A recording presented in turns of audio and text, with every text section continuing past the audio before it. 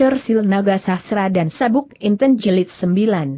Karena pandangan mata itu, hati Mahesa Jenar jadi gelisah. Seolah-olah ada suatu pengaruh yang aneh pada dirinya. Maka untuk mengatasi kegelisahannya, kembali ia berteriak, Hi, siapakah kau, yang telah berani mengambil pusaka-pusaka Kiai Naga Sasra dan Sabuk Inten dari Banyu Biru? Orang itu masih belum menjawab. Tetapi pandangan matanya semakin dalam menembus dada Mahesa Jenar yang menjadi semakin gelisah.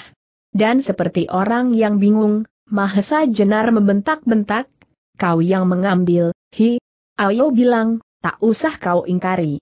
Kalau demikian, kembalikan keris itu kepadaku. Kembalikan. Karena orang itu masih saja tidak menjawab, perasaan Mahesa Jenar menjadi semakin melonjak-lonjak timbullah suatu perasaan kecut dan ngeri di dalam dirinya. Seolah-olah orang yang berdiri di hadapannya itu memancarkan suatu perbawa yang aneh.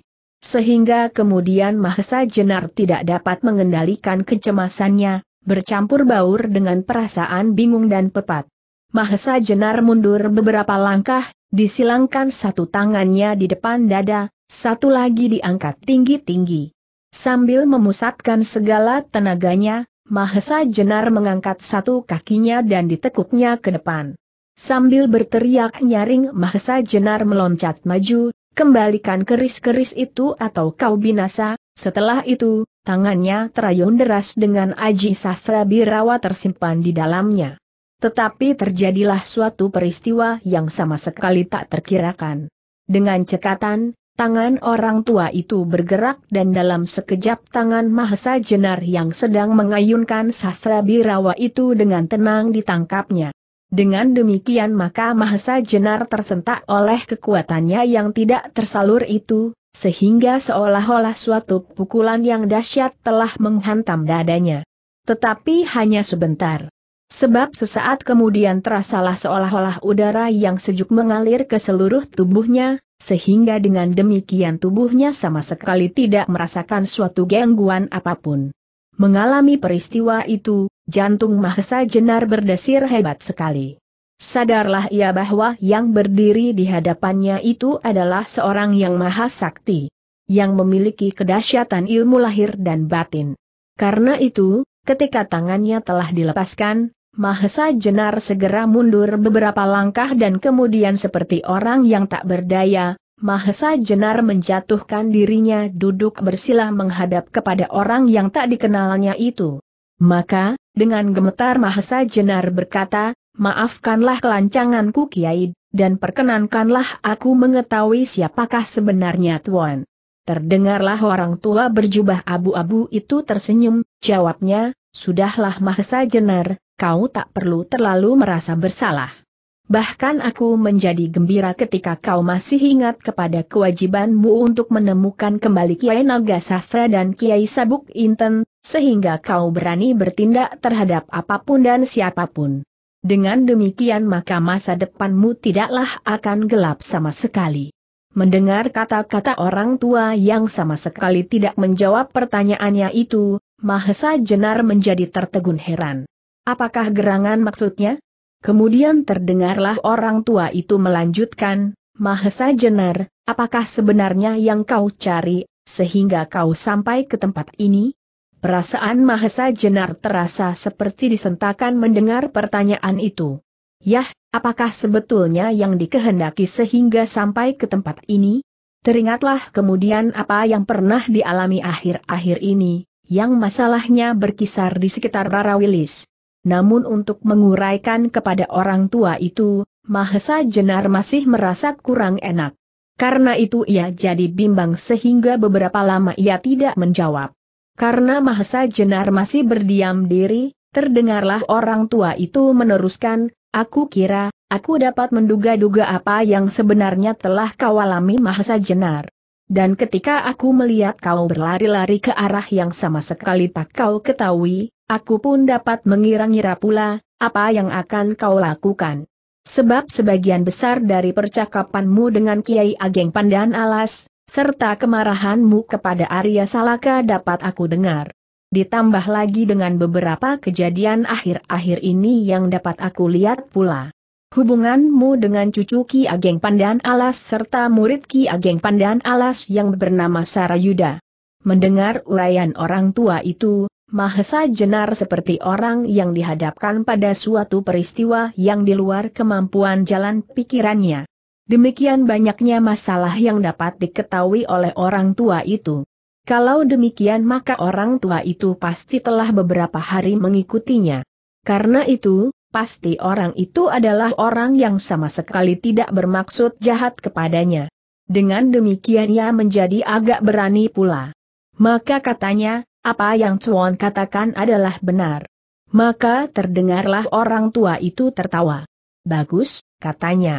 Kau sadari semua itu, dan sekarang kau akan pergi ke mana? Oleh pertanyaan itu kembali, Mahesa Jenar kebingungan. Apakah sebaiknya ia berkata terus terang? Sebab andai kata ia berbohong maka orang tua itu pun agaknya dapat mengetahui pula. Karena itu jawabnya, aku akan pergi bertapa, Kiai. Menjauhi kesibukan-kesibukan duniawi yang menjemukan. Sekali lagi orang tua itu tertawa. Katanya, apakah dengan bertapa serta menjauhkan diri dari persoalan manusia itu, kemudian keris Kiai Naga Sasra dan Sabuk Inten akan datang kepadamu dengan sendirinya? Sedikit-sedikit arah pembicaraan orang tua itu sudah dapat ditangkap oleh Mahesa Jenar. Ia menjadi bertanya pula pada diri sendiri, apakah sebenarnya yang dicarinya selama ini? Mahesa Jenar, lanjut orang tua itu, kau adalah seorang kesatria, bukan seorang brahmana atau pertapa. Kewajiban kesatria adalah membina kesejahteraan umat manusia, kesejahteraan bangsanya dan tanah airnya. Apakah yang dapat kau lakukan apabila kau mengasingkan dirimu di puncak gunung atau di tengah-tengah hutan yang lebat? Di dalam goa-goa atau di bawah pohon beringin tua? Mahesa Jenar, aku sudah tua. Aku adalah gambaran dari orang-orang yang tak berarti tinggal di dalam goa yang jauh dari masalah-masalah bangsa dan tanah air, di mana aku meneguk air jika aku haus serta mencari ketenteraman diri. Tetapi dengan demikian masalah keluarga besar kita tak akan dapat diselesaikan. Sekarang adakah kau mau memperbanyak jumlah dari orang-orang yang demikian itu? Kata-kata orang tua itu memancar ke hati Mahesa Jenar seperti sinar matahari yang memecahkan gelapnya malam. Meskipun ia masih duduk terpekur, namun dadanya telah menyala kembali dengan api kekesatriaannya. Masihkah kau akan melanjutkan mencari pusaka-pusaka yang hilang itu tanya orang tua itu. Karena pertanyaan itu Mahesa Jenar tersentak. Jawabnya tergagap, ya. Tuan, aku tetap mencarinya. Dan adakah Tuan mengetahui di manakah kedua keris itu sekarang? Orang tua itu tersenyum, lalu jawabnya, aku tahu. Kedua keris itu berada di dalam kekerasan hatimu serta usahamu. Kembali Mahesa Jenar tertunduk. Tepat benar jawaban orang tua itu. Mahesa Jenar, lanjut orang itu, hati-hatilah kelak akan memilih. Ada dua keturunan yang merasa berhak memiliki keris itu. Keturunan Trenggana dan keturunan Sekar Sedalepen. Pilihlah siapa di antara mereka yang mengutamakan kepentingan rakyat serta kesejahteraan negerinya. Kepadanya lah keris itu kau serahkan. Seterusnya kau masih mempunyai satu kewajiban lagi. Membina masa depan. Dan sekarang kasih siakan satu tugas kekuatan masa depan itu, orang tua itu diam sesaat, lalu bertanya kepada Mahesa Jenar, dengarlah siapakah yang menyebut-nyebut namamu. Lamat-lamat ketajaman pendengaran Mahesa Jenar mendengar suara memanggil-manggilnya, Paman, Paman Mahesa Jenar, di manakah kau Paman mendengar suara itu, terbantinglah hati Mahesa Jenar seperti kaca yang menimpa batu. Itu adalah suara Arya Salaka, putra Gajah Sora. Apa salah anak itu kepadamu Mahesa Jenar tanya orang tua itu sambil tersenyum. Karena pertanyaan itu hati Mahesa Jenar merasa semakin pecah-pecah. Teringatlah ia, bagaimana ia membentak-bentak anak itu, meninggalkannya dalam kebingungan dan kekalutan pikiran. Mahesa Jenar, terdengarlah kembali kata-kata orang tua itu, masa depan tidaklah kalah pentingnya dengan masa kini. Justru apa yang kau lakukan adalah buat kepentingan masa depan. Karena itu peliharalah tunas-tunas buat masa depan itu dengan baik-baik. Kali ini kau telah mendapatkan pengalaman untuk dapat kau pergunakan sebagai cermin pada masa-masa yang akan datang. Setiap usaha pasti mengalami rintangan-rintangan. Apabila kau terperosok pada kepatahan hati maka tak akan ada usahamu yang berhasil. Aku setuju dengan kata-kata pandan alas, hatimu sekeras baja, tetapi getas seperti baja pula. Nah sekarang hayatilah tugasmu kembali. Kiai Naga Sastra dan Kiai Sabuk Inten serta anak gajah sora yang dititipkan kepadamu itu. Mahesa Jenar membungkuk hormat, namun masih juga ia mencoba bertanya, siapakah sebenarnya Tuan? Orang tua itu tersenyum. Jawabnya, tak banyak gunanya kau mengetahui siapakah aku ini. Sebab aku adalah orang yang tak berarti. Salah satu dari gambaran orang-orang yang tidak bertanggung jawab buat membina bebrayan agung. Namun aku masih ingin menitipkan sumbangsihku atas tanah ini kepadamu, dengan mencegah kehendakmu untuk menambah barisan orang-orang yang tak berarti seperti aku ini. Nah selamat bekerja Mahasa Jenar. Seharusnya kau memiliki keagungan seperti gurumu, Pangeran Handayaningrat, setelah mengucapkan kata-kata itu, orang tua yang berkumis dan berjanggut lebat itu melangkah pergi. Mahesa Jenar yang masih belum puas itu segera akan mengikutinya, tetapi tiba-tiba kembali didengarnya suara sayup-sayup menyusup dedaunan, Paman, Paman Mahesa Jenar. Kenapa aku kau tinggalkan sendiri, Paman? Suara yang timbul tenggelam di antara desir angin di hutan itu telah menyentuh-nyentuh perasaan Mahesa Jenar seperti panasnya bara api. Cepat ia menyadari kesalahannya telah meninggalkan anak yang tak bersalah itu. Karena itu ia berteriak pula, Arya, tunggulah paman segera datang. Setelah itu segera ia meloncat berlari sekencang-kencangnya menuju ke arah suara Arya Salaka, yang ketika mendengar suara Mahasa Jenar, berteriak lebih keras lagi, Paman, Paman. Ketika Arya Salaka melihat Mahasa Jenar yang tiba-tiba muncul dari rimbunnya hutan, segera ia berlari menyongsongnya. Tetapi karena tubuhnya sudah sangat lelah, maka ia pun terjatuh lemas. Melihat keadaan Arya, Mahesa Jenar jadi terharu. Cepat ia menangkap tubuh Arya yang sudah hampir terjerembab, dan dengan hati-hati anak itu didudukan di atas rumput-rumputan. Arya, bisik Mahesa Jenar. Arya tidak menjawab, karena kerongkongannya terasa buntu. Namun air matanya mengalir seperti tanggul yang pecah. Arya Salaka yang sebenarnya bukanlah anak cengeng, pada saat itu tangisnya tak tertahankan lagi, seperti berdesak-desakan berebut jalan. Arya, kata Mahesa Jenar, anak laki-laki tidak sepantasnya menangis. Diamlah. Meskipun nada suara Mahesa Jenar sudah menjadi lunak, namun Arya masih ketakutan kalau-kalau pamannya akan marah kembali. Karena itu ditahannya tangisnya kuat-kuat. Tetapi karena itu pula maka dadanya menjadi sesak karena isaknya yang tersekat, sehingga tubuhnya berguncang-guncang. Sudahlah Arya, sambung Mahesa Jenar, kalau kau terlalu lama menangis kau dapat kemasukan angin. Aku takut paman kata Arya di sela-sela seduh sedannya. Takut tanya Mahesa Jenar. Apa yang kau takutkan? Aku takut kalau paman meninggalkan aku sendiri, jawab Arya. Mendengar jawaban itu hati Mahesa Jenar tergetar.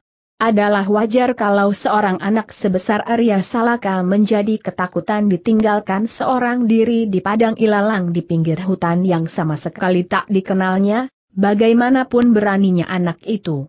Tidak Arya, paman tak akan meninggalkan kau sendiri, kata Mahesa Jenar membesarkan hati anak itu.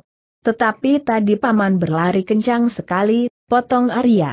Mendengar kata-kata Arya itu, Mahesa Jenar tersenyum. Senyuman yang pahit bagi dirinya sendiri. Namun jawabnya, tadi paman tidak akan meninggalkan kau, Arya. Tetapi karena ada sesuatu yang harus aku kerjakan, dan tidak boleh orang lain tahu, apalagi anak-anak. Karena hal itu adalah rahasia besar, maka aku pergi mendahuluimu untuk beberapa lama. Arya memandang wajah Mahesa Jenar dengan pandangan yang penuh keragu-raguan. apa yang dilakukan oleh Mahesa Jenar tadi menurut anggapannya bukanlah sekadar mendahului, tetapi benar-benar telah berusaha untuk meninggalkannya. Karena itu ia bertanya, tetapi tadi paman marah kepadaku. Sekali lagi Mahesa Jenar tersenyum. Namun hatinya mengeluh. Sudahlah Arya, sekarang dan seterusnya paman tak akan meninggalkan kau lagi. Arya mengangguk-anggukan kepalanya, meskipun hatinya masih tetap ragu. Katanya, ke mana paman pergi, aku ikut paman. Bagus Arya, bagus, jawab Mahasa Jenar. Nah, sekarang ke mana? Terserahlah kepada paman, jawab Arya. Kau lelah tanya Mahasa Jenar. Tidak, kalau berjalan dengan paman aku masih kuat, jawab Arya dengan mantapnya, meskipun sebenarnya kakinya sudah terlalu letih. Agaknya Mahasa Jenar mengetahui pula kelelahan Arya, karena itu katanya, kita beristirahat sebentar Arya, nanti kalau kau sudah tidak begitu letih, kita berjalan kembali. Arya menjadi gembira mendengar ajakan pamannya. Memang sebenarnya ia lelah sekali setelah beberapa lama berlari-lari mengejar Mahasa Jenar. Maka jawabnya, baiklah paman. Aku akan beristirahat dahulu. Kemudian mereka mencari tempat yang teduh di bawah pepohonan, di tepi hutan. Arya Salaka dengan segera merebahkan dirinya berbaring di atas rumput-rumput kering. Dan, karena lelahnya maka segera ia pun tertidur. Mahesa Jenar memandang Arya yang sedang tidur itu dengan perasaan belas kasih. Apalagi kalau diingatnya, bahwa hampir saja anak itu ditinggalkannya seorang diri. Dari wajah anak itu tampaklah memancar ketulusan serta keberanian yang diwarisinya dari ayahnya, Gajah Sora. Karena itu, apabila Arya Salaka menerima pendidikan serta latihan yang baik, pastilah kelak ia akan menjadi seorang pemuda yang perkasa. Sementara itu matahari telah menempuh lebih dari tiga perempat bagian dari jalan perdarannya, karena itu panasnya tidak begitu tajam lagi. Di langit yang biru bersih, hanya kadang-kadang saja tampak awan tipis mengalir perlahan-lahan. Bersama dengan awan yang tipis itu kenangan Mahesa Jenar membubung tinggi. Diingatnya segenap masa lampaunya yang penuh dengan bermacam-macam kejadian silih berganti. Ketenaran dua keagungan sebagai seorang perwira pasukan Naramanggala, kepahitan dan kekecewaan, kecemasan dan bermacam-macam lagi peristiwa yang datang silih berganti di masa perantauannya. Namun akhirnya, ketika awan di langit itu pecah berpencaran di tiup angin, maka hilang pula lah semua kenangan yang mengganggu pikiran Mahesa Jenar. Yang tampak sekarang adalah masa yang menghadang di hadapannya. Masa yang akan penuh dengan tantangan-tantangan yang harus dijawab dengan tindakan-tindakan yang tepat. Tetapi kemudian tiba-tiba Mahesa Jenar teringat kepada orang tua yang telah membawanya kembali ke jalan yang lurus. Siapakah kira-kira orang itu? Benarkah orang itu yang telah mengambil keris-keris Kiai Naga Sastra dan Kiai Sabuk Inten? Ketika pertanyaan-pertanyaan itu ditujukan kepadanya maka ia sama sekali tidak menyangkalnya meskipun tidak pula membenarkan. Ditilik dari pakaiannya maka Mahasa Jenar hampir pasti bahwa orang itulah yang mengambil kedua pusaka itu dari Banyu Biru, sebab jarang orang yang berpakaian jubah berwarna abu-abu, kecuali pasing-singan dan orang itu. Meskipun Mahesa Jenar belum pernah melihat wajah asli pasing-singan yang nama sebenarnya adalah Umbaran, namun pastilah bahwa orang tua itu bukannya Umbaran. Kalau demikian sampailah Mahesa Jenar pada suatu dugaan bahwa orang tua itu adalah pasing-singan tua, guru dari Paniling, atau yang sebenarnya bernama Radite, Anggara dan Umbaran. Namun ia sendiri tidak yakin, apakah dugaannya itu benar. Tetapi bagaimanapun Mahesa Jenar mendapat kesimpulan bahwa usaha untuk menemukan keris-keris naga sastra dan sabuk inten akan merupakan suatu usaha yang berjangka panjang. Sebab sampai saat itu segala sesuatunya masih gelap. Gelap sama sekali tak ada satu titik pun yang dapat menunjukkan arah lenyapnya kedua pusaka yang sedang menjadi rebutan oleh beberapa pihak itu.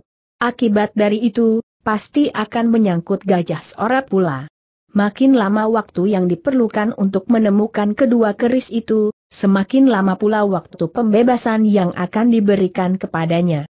Mahesa Jenar hanya dapat berdoa, mudah-mudahan Paningron dan Gajah Alit dapat menolong meringankan tuduhan yang dibebankan kepada Gajah Sora. Tetapi ketika Mahesa Jenar baru asik berangan-angan, tiba-tiba terdengarlah derap kuda yang semakin lama semakin dekat. Karena itu segera didukungnya Arya yang masih tidur, dibawa masuk ke dalam semak-semak yang rimbun. Untunglah bahwa Arya yang kelelahan itu tidak terbangun. Sedang Mahesa Jenar, dengan hati-hati sekali mengintip dari celah-celah rapatnya dedaunan ke arah suara kuda-kuda itu. Sebentar kemudian dari balik tikungan semak-semak muncullah tiga orang berkuda. Melihat tiga orang itu, dada Mahesa Jenar menjadi berdebar-debar. Mereka adalah sepasang uling dari rawa pening, disertai oleh Sri Gunting. Menilik perbekalan mereka, maka Mahesa Jenar dapat mengetahui bahwa dua bersaudara uling itu akan menempuh perjalanan yang jauh. Mula-mula timbul keinginan Mahesa Jenar untuk menghadang mereka serta langsung membinasakan mereka. Tetapi tiba-tiba diingatnya pesan Ki Paniling, bahwa ia dinasihatkan untuk tidak bertindak tergesa-gesa. Ia harus tahu pasti bahwa tindakannya benar-benar akan menguntungkan. Sedang pada saat itu, ia masih belum yakin bahwa ia seorang diri dapat mengalahkan orang-orang itu. Apalagi ia sedang membawa Arya. Kalau sampai terjadi sesuatu atas anak itu, maka letak kesalahan ada padanya. Karena itu akhirnya, Mahesa Jenar hanya mengintip dengan dada yang bergetar menahan perasaannya. Ketika ketiga orang itu lenyap dari pandangan matanya, Mahesa Jenar segera menyadari, betapa semakin sulitnya pekerjaan yang akan dilakukan. Dengan melihat kedua orang itu Mahesa Jenar dapat menerka, bahwa pasti tidak saja sepasang uling itu yang pergi merantau, tetapi pasti juga tokoh-tokoh hitam yang lain, menempuh perjalanan dan bertebaran ke segenap penjuru untuk dahulu mendahului menemukan keris-keris Kiai Naga Sastra dan Kiai Sabuk Inten. Kalau saja ia bertemu dengan Uling, Lawa Ijo, Jaka Soka dan sebagainya, bagaimanapun masih ada kemungkinan bagi Mahesa Jenar untuk menyelamatkan diri. Tetapi bagaimana halnya kalau di perjalanan ia berjumpa dengan tokoh-tokoh tua seperti Pasing Singan, Simarodera tua, Bugel Kaliki dan barangkali tokoh-tokoh tua yang berdiri di belakang sepasang uling dan jaka soka, atau guru-guru mereka, yang ternyata juga mengingini pusaka-pusaka itu? Terhadap mereka tidak akan banyak yang dapat dilakukan. Untunglah sampai saat ini beberapa kali jiwanya selalu terselamatkan oleh pertolongan mereka dari angkatan yang sebaya. Tetapi kalau tak seorang pun dari mereka yang melihat, pasti bahwa tinggal nama Mahasa Jenar saja yang mungkin masih sering disebut-sebut orang. Mengingat hal itu, tiba-tiba dirasanya bulu tengkuknya berdiri. Tetapi ketika segera menyusul gema yang berkumandang di rongga hatinya, Gema suara orang tua yang tak dikenalnya, yang mengatakan bahwa keris naga sasra dan sabuk inten berada di dalam kekerasan hatinya serta usahanya, maka nyala tekat di dalam hatinya berkobar semakin besar, sebesar nyala api di lubang kepun dan gunung Merapi, yang tak akan dapat padam oleh hujan selebat apa pun serta angin sekencang apa pun. Sementara itu Arya telah menggeliat pula. Ketika ia membuka matanya maka yang pertama-tama dilakukan adalah berteriak memanggil, Paman, Paman Mahasa Jenar. SST Desis Mahasa Jenar. Kenapa kau berteriak, Arya? Dengan pandangan yang masih diliputi oleh keragu-raguan, Arya mengawasi Mahasa Jenar tanpa berkedip. Sambungnya, Paman tidak meninggalkan aku lagi bukan? Mahesa Jenar tertawa kosong, dengan penuh pengertian atas kecemasan yang mencengkam perasaan Arya. Jawabnya, kalau aku akan meninggalkan engkau, bukankah lebih baik pada saat kau sedang tidur? Mendengar jawaban Mahesa Jenar, Arya menjadi percaya bahwa pamannya tidak akan pergi meninggalkannya. Setelah beberapa kali menggeliat, segera Arya duduk di samping Mahesa Jenar. Sudah tidak lelah lagi kau Arya tanya Mahasa Jenar. Bukankah sejak tadi aku tidak lelah paman jawab anak itu. Terdengar Mahasa Jenar tertawa pendek, katanya meneruskan, Bagus kalau begitu. Nah sekarang kau sudah siap untuk berjalan lagi? Tentu paman, tentu aku siap berjalan setiap saat, sahut Arya. Kalau begitu, mari kita berjalan, ajak Mahasa Jenar. Oleh ajakan itu segera Arya meloncat berdiri dengan sigapnya. Memang setelah ia tertidur beberapa lama, tubuhnya telah menjadi segar kembali. Kita sekarang kembali ke rumah kita sebentar Arya, ajak Mahasa Jenar meneruskan. Kenapa hanya sebentar paman tanya Arya? Biarlah kami tinggalkan rumah itu. Rumah di mana kau hampir saja mengalami bencana, jawab Mahasa Jenar, seterusnya ia menerangkan, Arya, rumah itu ternyata sudah diketahui oleh orang-orang yang ingin membunuhmu. Karena itu bukankah lebih baik kalau kita pergi? Kita mampir sebentar hanyalah untuk mengambil tombak pusaka Banyu Biru Kiai Bancak biarlah tombak itu kau bawa serta. Supaya tidak mencurigakan, nanti sebaiknya kita lepas tangkainya. Baiklah paman, jawab Arya sambil menganggukkan kepalanya. Kemudian berangkatlah mereka berdua meneruskan perjalanan. Tidak lama kemudian matahari tenggelam di ujung barat langit. Dalam kegelapan, mereka tetap meneruskan perjalanan. Mahesa Jenar yang berpandangan tajam dapat menempuh perjalanan dengan tidak banyak menemui kesulitan, sambil menggandeng Arya Salaka. Belum sampai tengah malam, mereka berdua telah tiba di pedukuhan di mana telah mereka bangun tempat untuk berteduh. Pada pagi harinya, tetangga-tetangga Mahesa Jenar yang baik hati, ketika mengetahui bahwa Mahasa Jenar telah berhasil menemukan anak yang mereka anggap anak Mahasa Jenar sendiri, dengan selamat, segera berkerumun untuk mengucapkan syukur. Mereka bertanya bergantian tak ada henti-hentinya sehingga Mahasa Jenar kerepotan untuk menjawabnya. Tetapi kemudian, mereka, tetangga-tetangga yang baik itu menjadi tercengang-cengang ketika tiba-tiba saja Mahasa Jenar mohon diri kepada mereka untuk pergi meneruskan perantauannya seperti ketika belum menetap di pedukuhan itu. Para tetangga yang menganggap Mahasa Jenar sebagai seorang petani yang banyak memberikan sesuluh kepada mereka, menjadi agak kecewa. Kata salah seorang dari mereka, adakah kami berbuat kesalahan terhadap Angger? Tidak, Bapak, Sahut Mahasa Jenar cepat. Sama sekali tidak. Atau barangkali Adi marah kepada kami sambung yang lain, karena kami tidak dapat melindungi anak Adi? Juga tidak, jawab Mahasa Jenar. Tidak ada kesalahan saudara-saudara kepada kami. Lalu kenapa Adi mau pergi tanya seseorang pula? Mahasa Jenar agak bingung menjawab pertanyaan itu. Tetapi akhirnya ia berkata, saudara-saudaraku yang baik. Aku ingin berjalan semata-mata karena kegemaranku merantau. Aku ingin menunjukkan beberapa pengalaman kepada anakku ini. Sebab aku bercita-cita bahwa kelak nasib anakku ini harus lebih baik dari nasibku sendiri. Para tetangga yang ramah itu pun mengangguk-anggukan kepala. Agaknya Mahasa Jenar sudah tidak dapat ditahan lagi. Karena itu dengan berat hati mereka lepas Mahasa Jenar dan anaknya berjalan.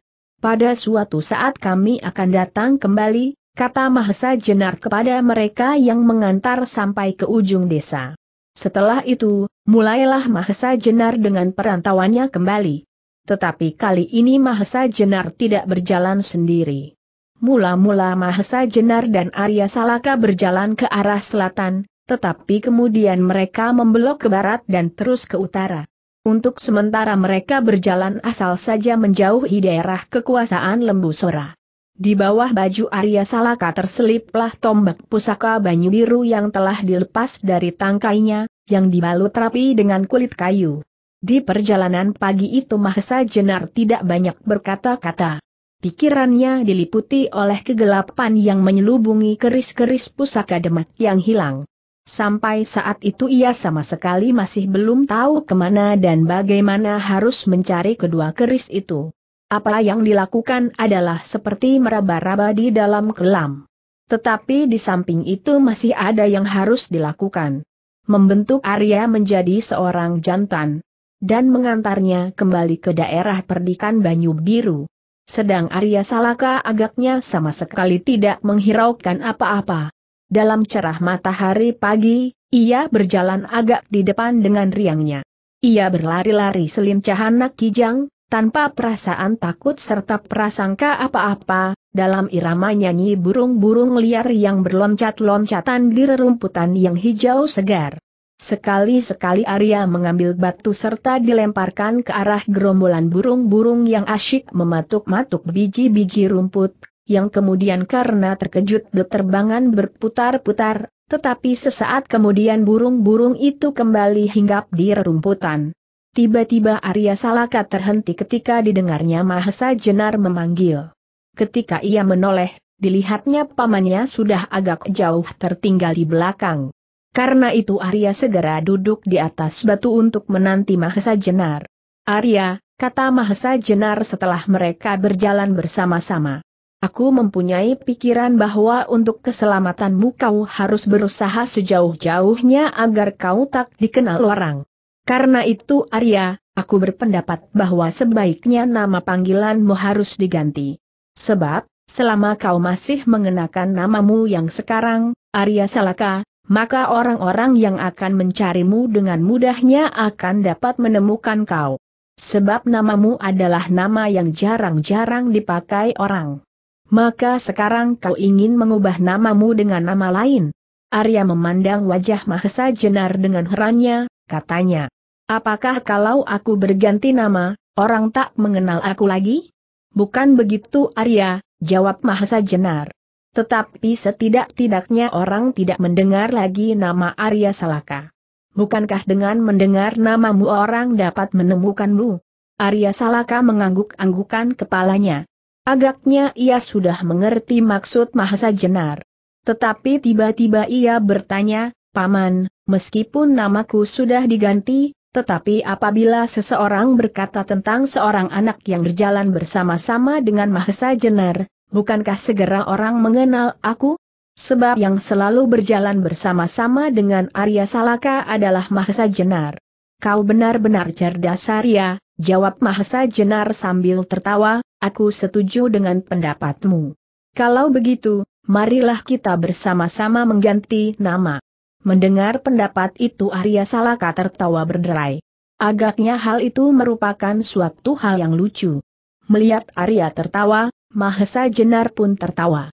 Nah, Arya, siapakah nama yang pantas buat mengganti namamu tanya Mahesa Jenar kemudian. Arya tampak mengerutkan keningnya, tetapi beberapa lama kemudian ia menggeleng-gelengkan kepalanya. Katanya, terserahlah kepada paman.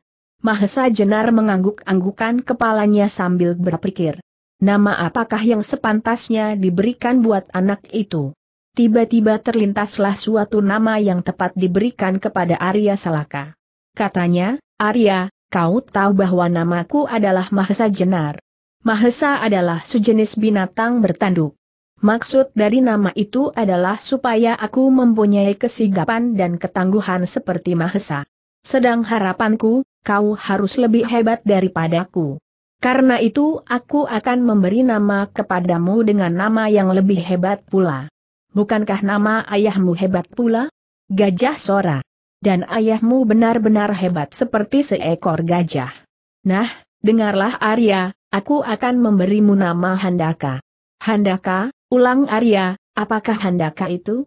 Handaka adalah nama binatang bertanduk pula, jawab Mahasa Jenar.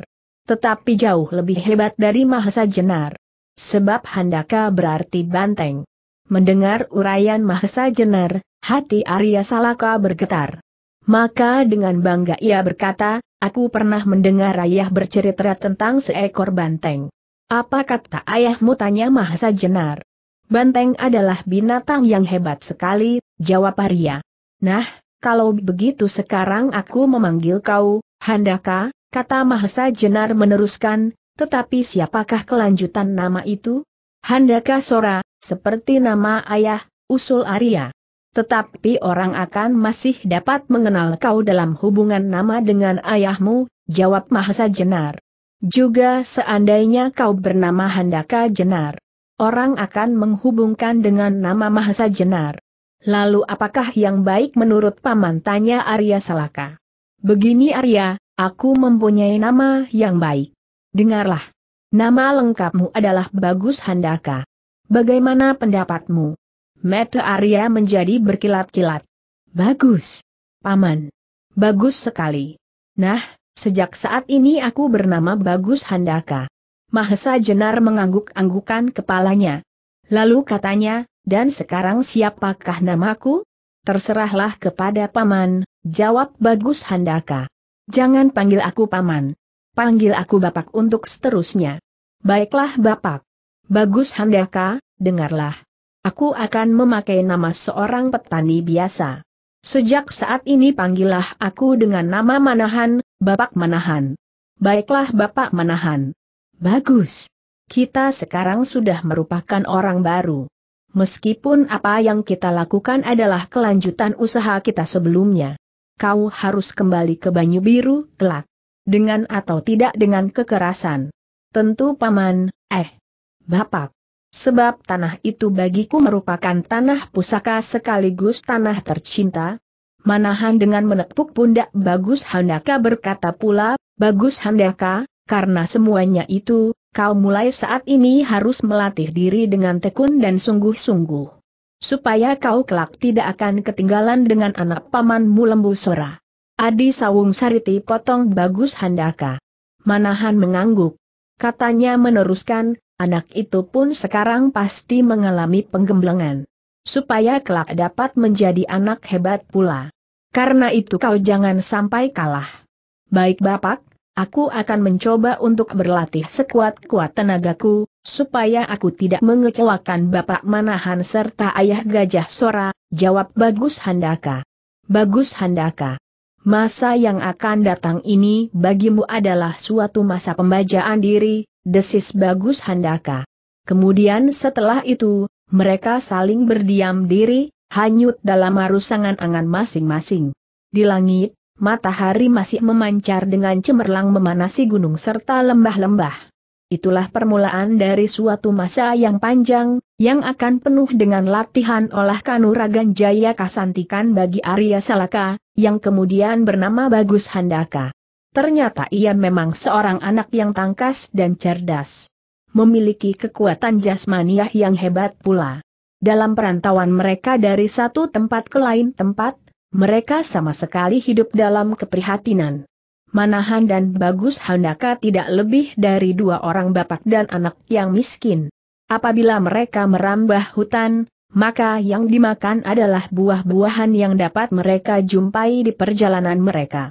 Sedangkan apabila mereka melalui jalan-jalan kota, mereka berusaha untuk mendapatkan pekerjaan apa pun yang dapat mereka lakukan. Tetapi karena semuanya itu mereka lakukan dengan suatu keyakinan bagi masa datang, maka hal itu sama sekali tidak menimbulkan gangguan apa pun dalam diri mereka. Baik jasmaniah maupun tekad yang tersimpan di dalam dada mereka. Di dalam masa perantauan itu, satu hal yang tak seorang pun mengetahui, adalah bahwa setiap saat Bagus Handaka selalu menerima latihan-latihan yang berat dan teratur dari gurunya. Setiap pagi, bila matahari belum menampakkan diri, Bagus.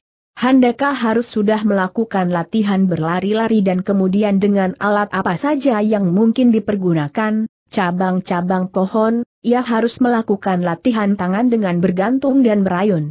Di samping itu, sedikit demi sedikit Manahan mengajarinya pula gerakan-gerakan pembelaan diri dengan segala unsur-unsurnya.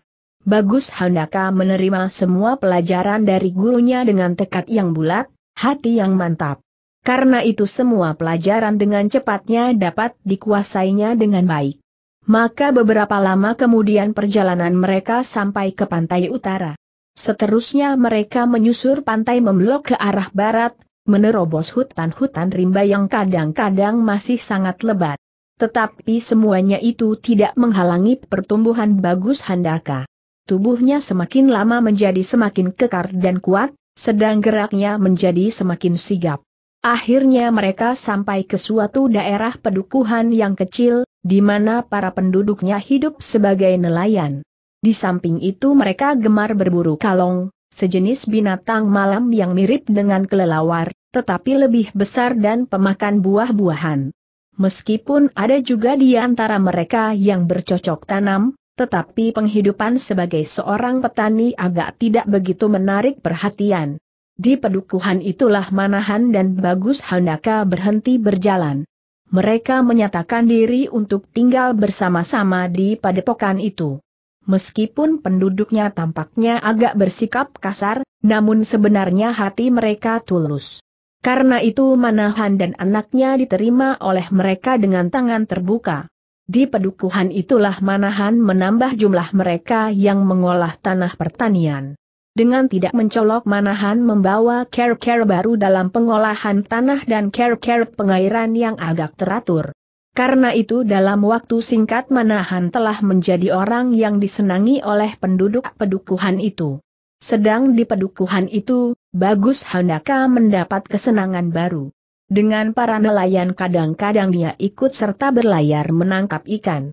Adalah mengherankan bahwa Handaka yang belum begitu lama hidup di kalangan para nelayan, kesigapannya telah hampir melampaui pemuda-pemuda nelayan yang sebayanya.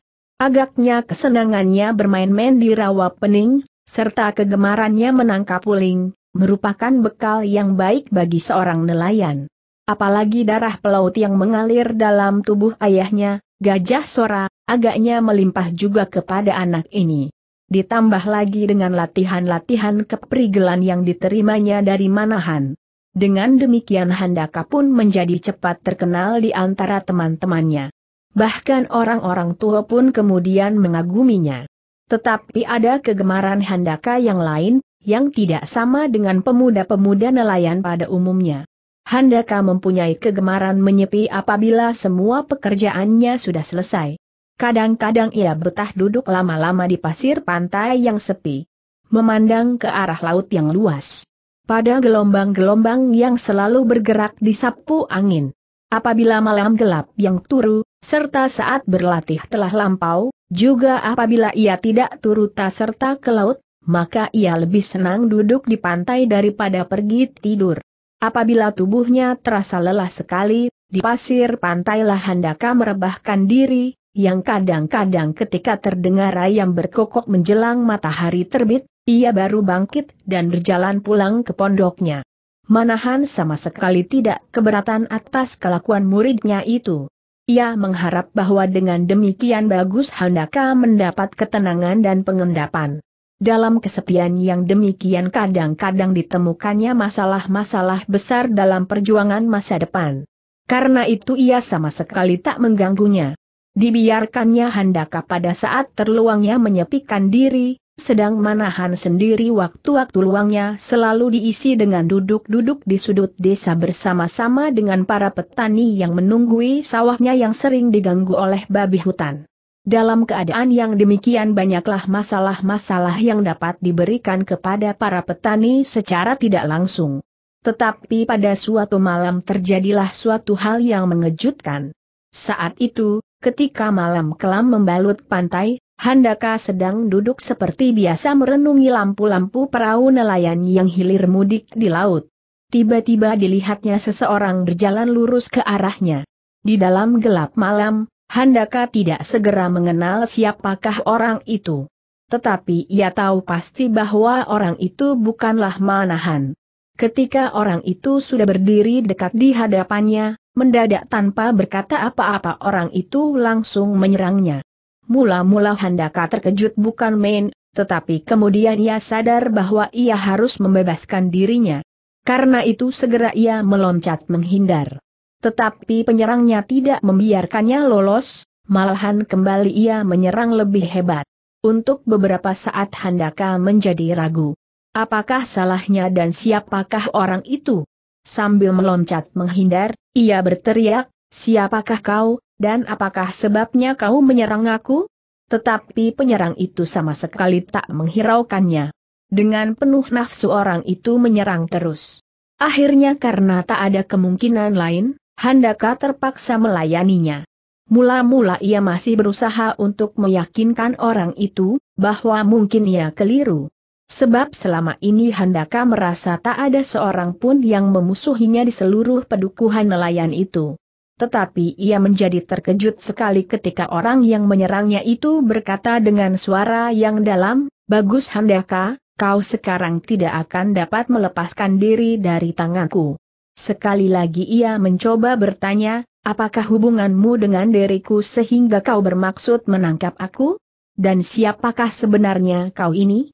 Orang itu tidak menjawab, tetapi tertawanya yang nyaring terdengar sangat mengerikan. Dan berbareng dengan itu serangannya menjadi bertambah cepat dan mendesak. Tetapi Bagus Handaka sekarang bukanlah Arya Salaka dua tahun yang lalu. Bagus Handaka adalah seorang pemuda yang meskipun umurnya belum lebih dari 15 tahun, namun karena gemblengan yang menempa dirinya setiap saat, maka ia adalah seorang pemuda yang tangkas dan kuat. Karena itu ia dapat berkelahi dengan tenang dan lincah. Sehingga serangan-serangan orang yang tak dikenalnya itu beberapa kali dapat dihindarinya dengan mudah. Tetapi ia tidak dapat terus-menerus menghindar dan mengelak. Sebab orang yang menyerangnya menjadi semakin marah. Gerak-geriknya semakin cepat dan berbahaya.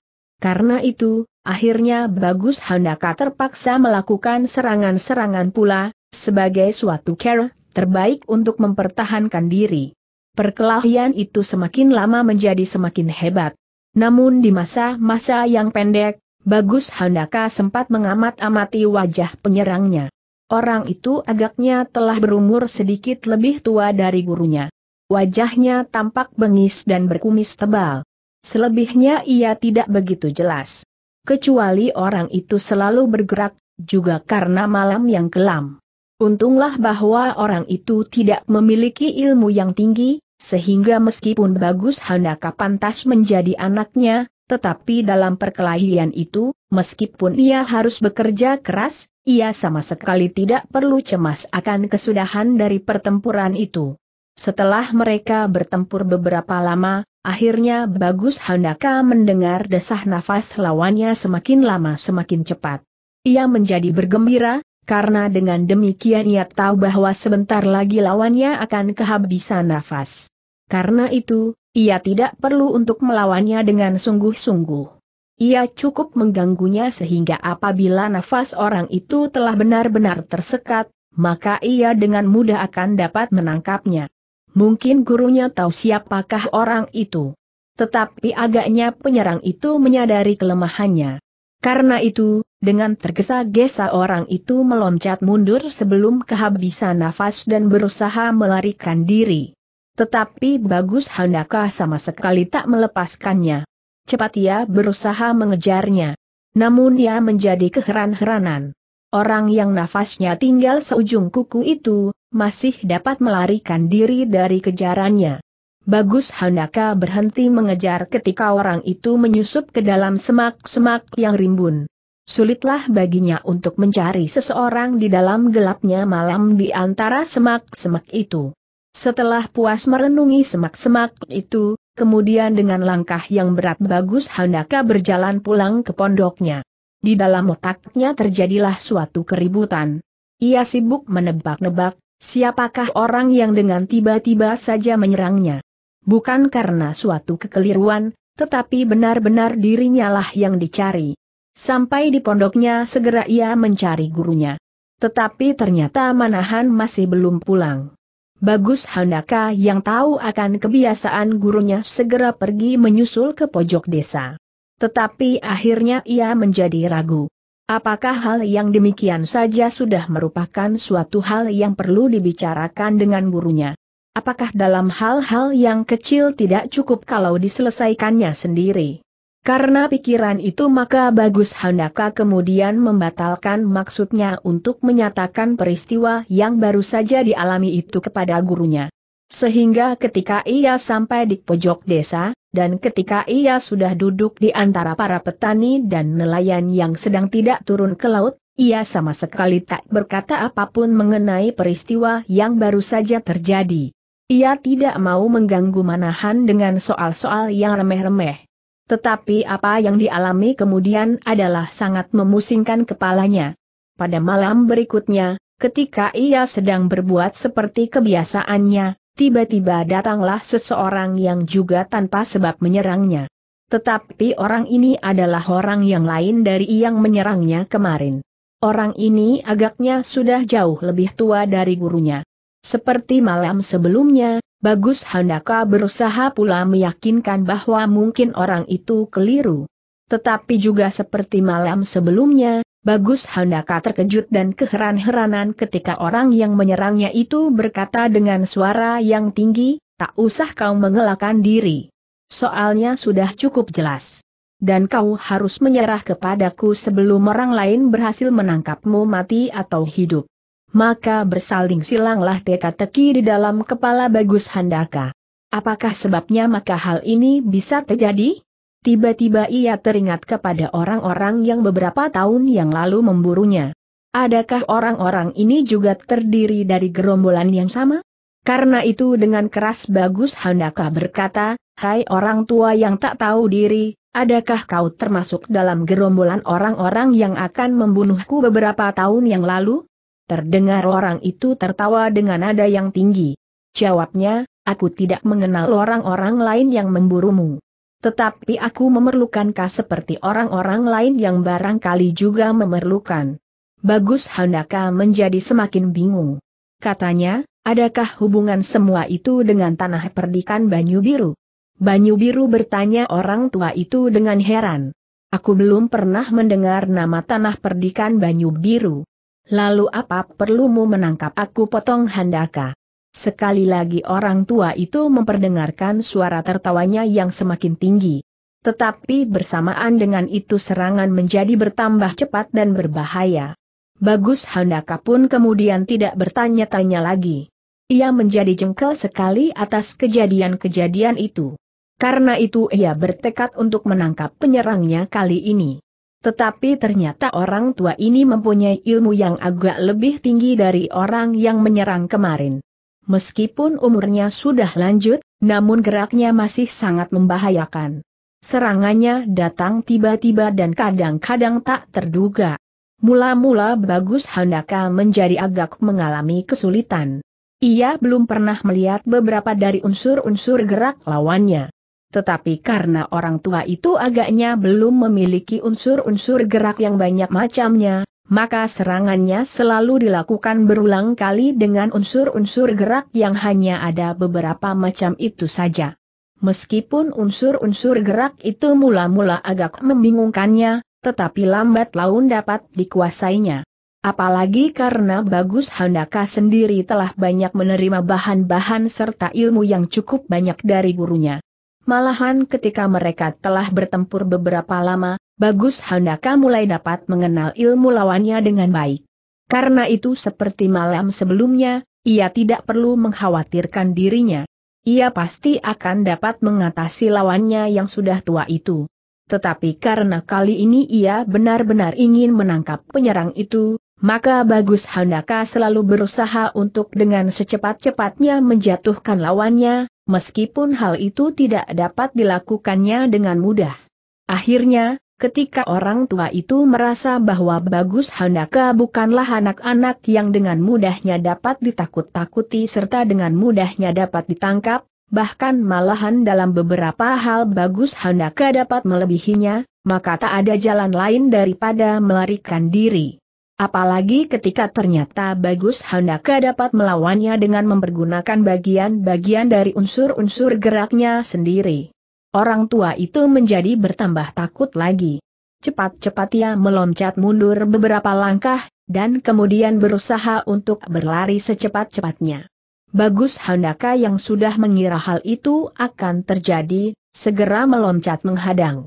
Tetapi orang tua itu seakan-akan telah dapat memperhitungkan pula tindakan Bagus Handaka, karena demikian Bagus Handaka melontarkan diri, demikian orang tua itu membalik ke arah yang berlawanan, dan seperti terbang orang itu berlari masuk ke dalam semak-semak yang gelap. Bagus Handaka yang mengejarnya menjadi keheran-heranan. Meskipun ternyata ilmunya tidak kalah tinggi, bahkan beberapa unsur gerak orang tua itu malahan telah dapat dikuasai, namun dalam hal berlari ternyata ia masih kalah.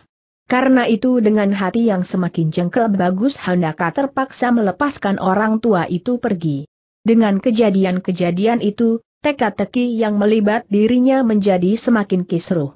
Ia mencoba mengingat-ingat semua kejadian yang pernah dialami, namun ia sama sekali tak dapat menghubungkannya dengan peristiwa dua malam terakhir itu.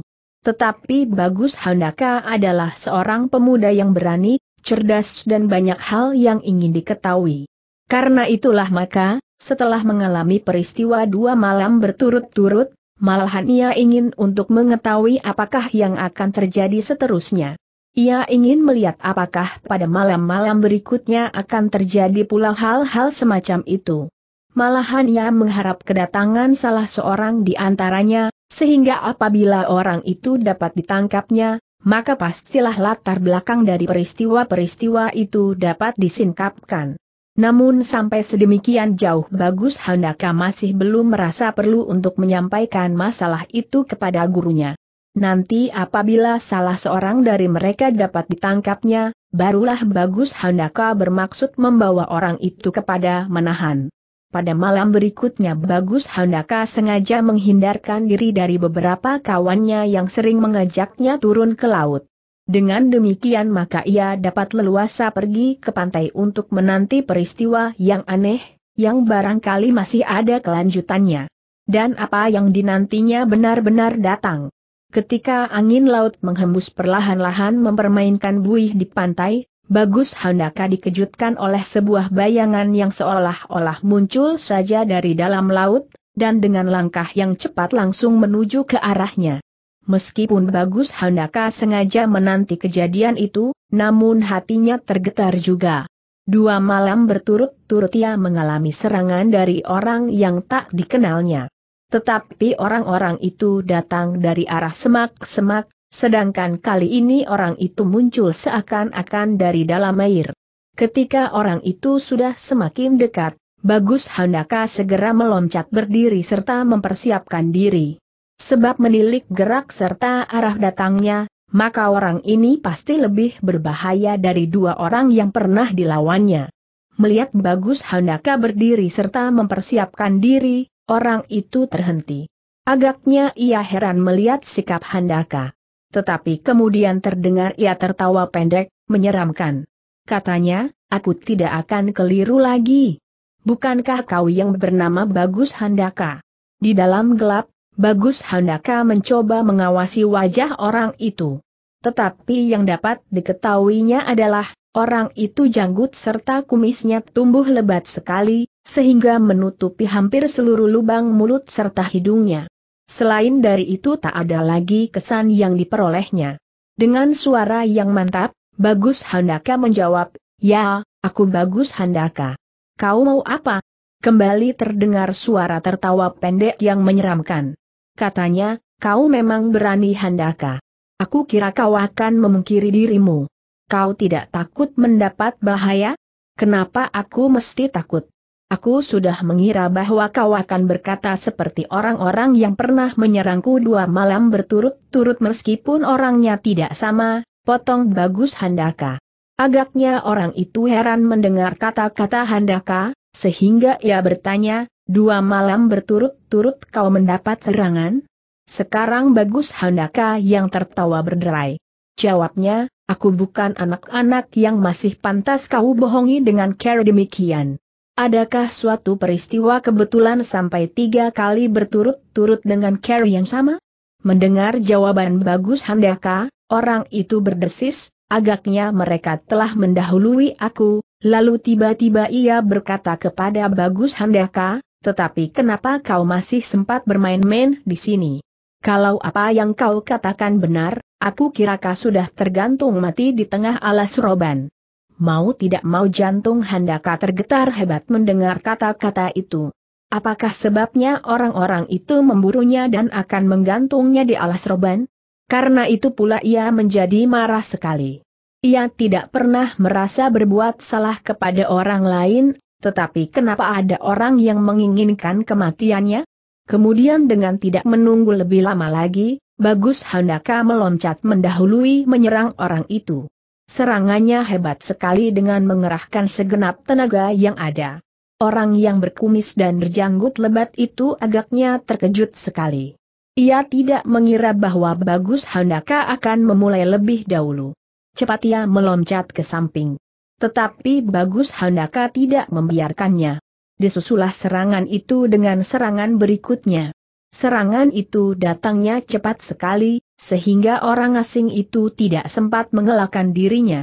Karena itu cepat-cepat ia berusaha menahan serangan bagus Handaka dengan kedua tangan yang disilangkan di muka dadanya.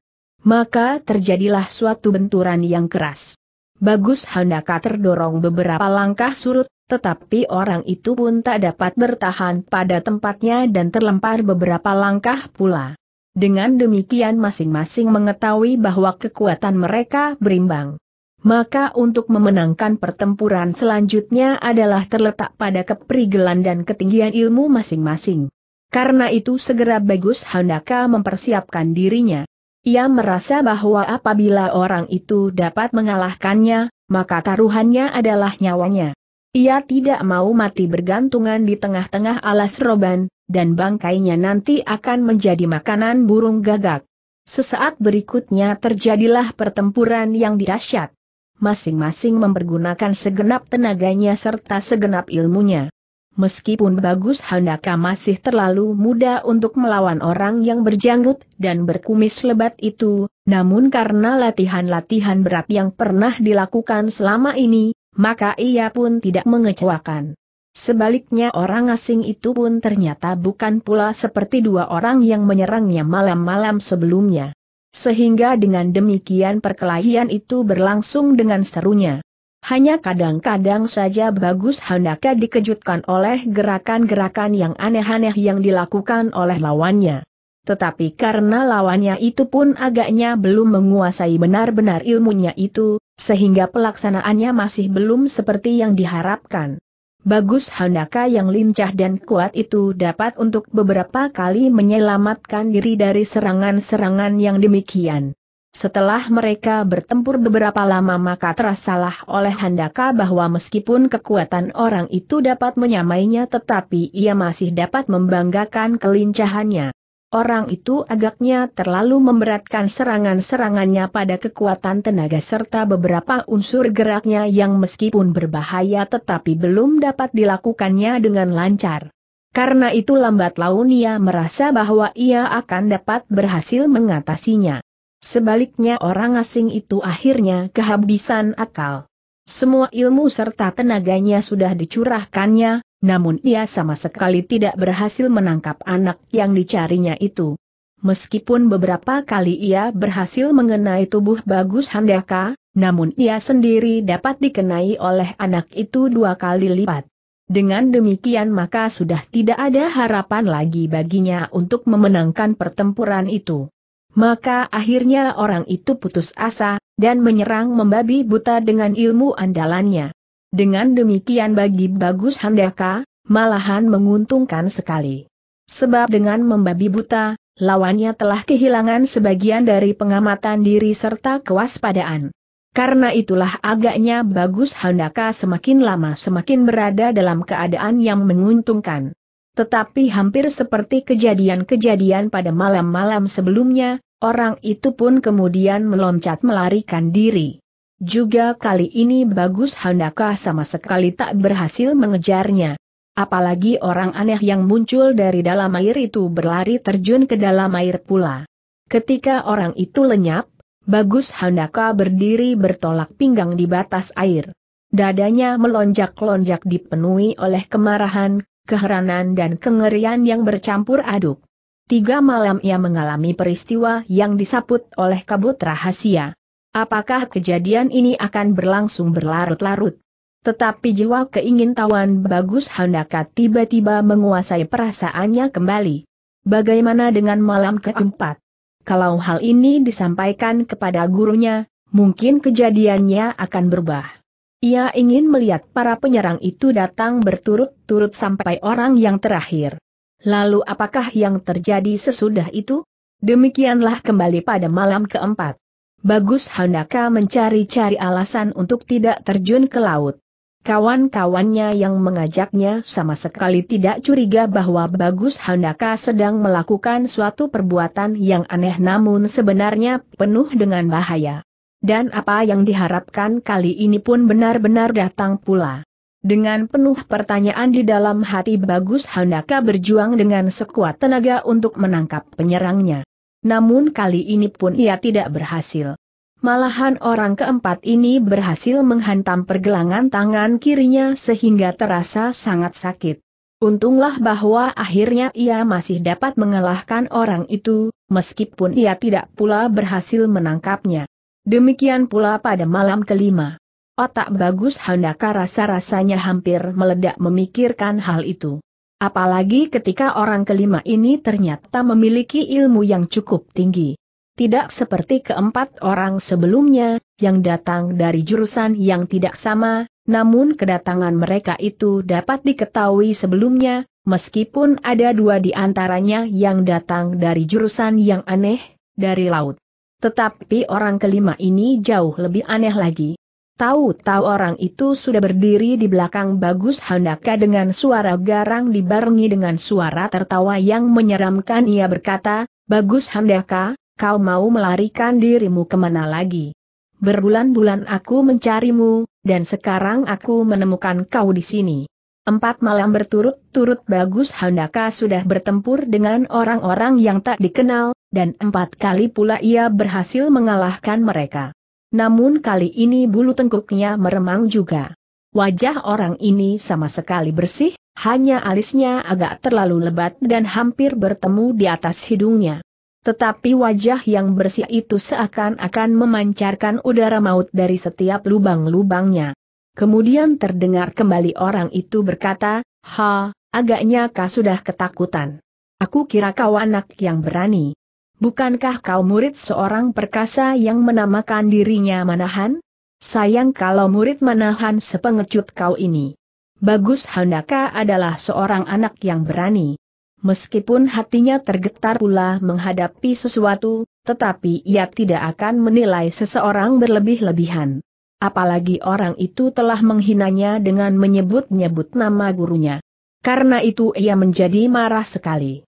Dengan mulut yang terkatup rapat serta gigi yang gemeretak, Bagus Handaka tidak menanti orang itu selesai berkata. Seperti seekor benteng luka ia dengan dahsyatnya menyerang orang itu. Orang yang mendapat serangan itu agaknya terkejut. Tetapi dengan tangkasnya ia menggeser kakinya sehingga ia terbebas dari serangan Bagus Handaka. Tetapi Bagus Handaka yang hatinya sudah terbakar oleh kemarahan itu, dengan cepatnya menyerang pula. Sekali lagi orang itu terpaksa mengelakkan diri, tetapi agaknya ia tidak mau diserang terus-menerus. Kemudian dengan garangnya ia pun menyerang kembali. Namun ternyata Bagus Handaka memiliki kelincahan yang cukup pula, sehingga serangan orang itu dapat dielakannya. Kemudian terjadilah suatu pertempuran yang hebat. Masing-masing melancarkan serangan-serangan yang dahsyat dan berbahaya. Tetapi masing-masing ternyata memiliki kegesitan dan ketahanan yang cukup. Bagus Handaka yang telah bertempur empat malam berturut-turut dan memenangkan setiap pertempuran, ternyata sangat mempengaruhi jiwanya. Ia semakin percaya kepada kekuatan dirinya sendiri dan perasaan yang demikian sangat membantu keadaannya pada malam kelima itu. Meskipun dia merasa bahwa orang kelima ini memiliki ilmu yang lebih tinggi dari orang-orang sebelumnya, namun hatinya yang telah dibesarkan oleh peristiwa-peristiwa empat malam sebelumnya menjadikannya tetap tata dan tenang. Tetapi suatu hal yang kurang menguntungkan bagi Bagus Handaka, adalah karena orang itu jauh lebih besar dan lebih tinggi, maka kesempatan orang itu untuk mengenainya agak lebih banyak. Tangan serta kakinya yang agak lebih panjang, ternyata mempengaruhi jalan pertempuran itu. Rupa-rupanya orang itu mempergunakan keuntungan itu sebaik-baiknya. Ia selalu melawan serangan bagus Handaka dengan serangan pula. Beberapa kali bagus Handaka dapat dikenai dengan cara demikian sebelum tangannya sempat menyentuh tubuh orang itu. Sehingga Bagus Handaka menjadi semakin marah dan bertempur mati-matian. Ternyata kali ini lawannya benar-benar tangguh. Orang itu licin seperti belut, serta lincah seperti singkat. Beberapa kali, apabila serangan-serangan Bagus Handaka agaknya sudah tidak dapat dihindari, tiba-tiba saja ia melenting beberapa langkah, dan kemudian dengan cara yang sama ia telah menyerang kembali. Menghadapi serangan yang demikian bagus Handaka merasa agak sulit. Dengan menjatuhkan diri ia mencoba membebaskan dirinya. Tetapi orang itu tidak membiarkan Bagus Handaka lolos. Dengan kakinya yang kokoh ia meloncat ke arah dada anak itu. Sekali lagi Bagus Handaka berguling. Tetapi sekali lagi orang itu melakukan serangan yang sama pula sebelum Handaka sempat berdiri. Bagus Handaka kemudian menjadi agak gugup. Berapa kali ia harus bergulung-gulung di pasir pantai itu. Tiba-tiba ia teringat kepada lawan-lawannya yang pernah dikalahkannya. Ada beberapa unsur gerak yang dapat dikuasainya. Karena itu ketika sekali lagi Bagus Handaka mendapat serangan dengan cara yang sama, setelah ia berhasil menggeser tubuhnya, cepat-cepat ia menangkap pergelangan kaki lawannya. Dengan mempergunakan daya dorongnya sendiri, Bagus Handaka ternyata berhasil menjatuhkan orang itu, dengan menghantam betisnya. Ia sendiri pernah pula mengalami hal yang demikian. Ketika orang itu terjatuh dan berguling-guling, kesempatan itu cepat dipergunakan oleh Bagus Handaka untuk berdiri. Tetapi demikian ia berdiri, Orang itu pun dengan suatu gerak seperti roda yang bergulung telah berdiri di hadapannya pula. Bagus Handaka, melihat hal itu menjadi bertambah marah. Matanya menjadi merah menyala-nyala dan dadanya berdegupan. Dengan dahsyatnya ia melontar maju menyerang dada orang itu. Serangan itu demikian tak terduga-duga sehingga orang asing itu tak sempat mengelak. Karena itulah maka dadanya terpaksa terhantam hebat. Terhuyung-huyung ia terdorong beberapa langkah surut. Bagus Handaka tidak mau melepaskan kesempatan itu lagi. Dengan garangnya ia memburu dan sekali lagi menghantamnya. Sayang bahwa kali ini orang itu sempat memiringkan tubuhnya, sehingga serangan Bagus Handaka tidak mengenai sasarannya, bahkan ia sendiri hampir-hampir kehilangan keseimbangan. Dalam saat yang demikian, tampak lawannya mengayunkan tangannya dengan dahsyatnya. Melihat serangan itu, Bagus Handaka agak bingung. Tiba-tiba tanpa sadar Bagus Handaka telah mempergunakan unsur-unsur gerak yang pernah ditiru-tirukannya dari lawan-lawannya sebelumnya. Cepat ia sedikit merendahkan diri, menangkap tangan orang itu sambil memutar tubuhnya, dan dengan bantuan tenaga berat lawannya. Bagus Handaka menarik orang itu melampau pundaknya. Dengan kerasnya orang itu terlempar ke atas lewat di atas pundaknya dan terbanting di pasir pantai.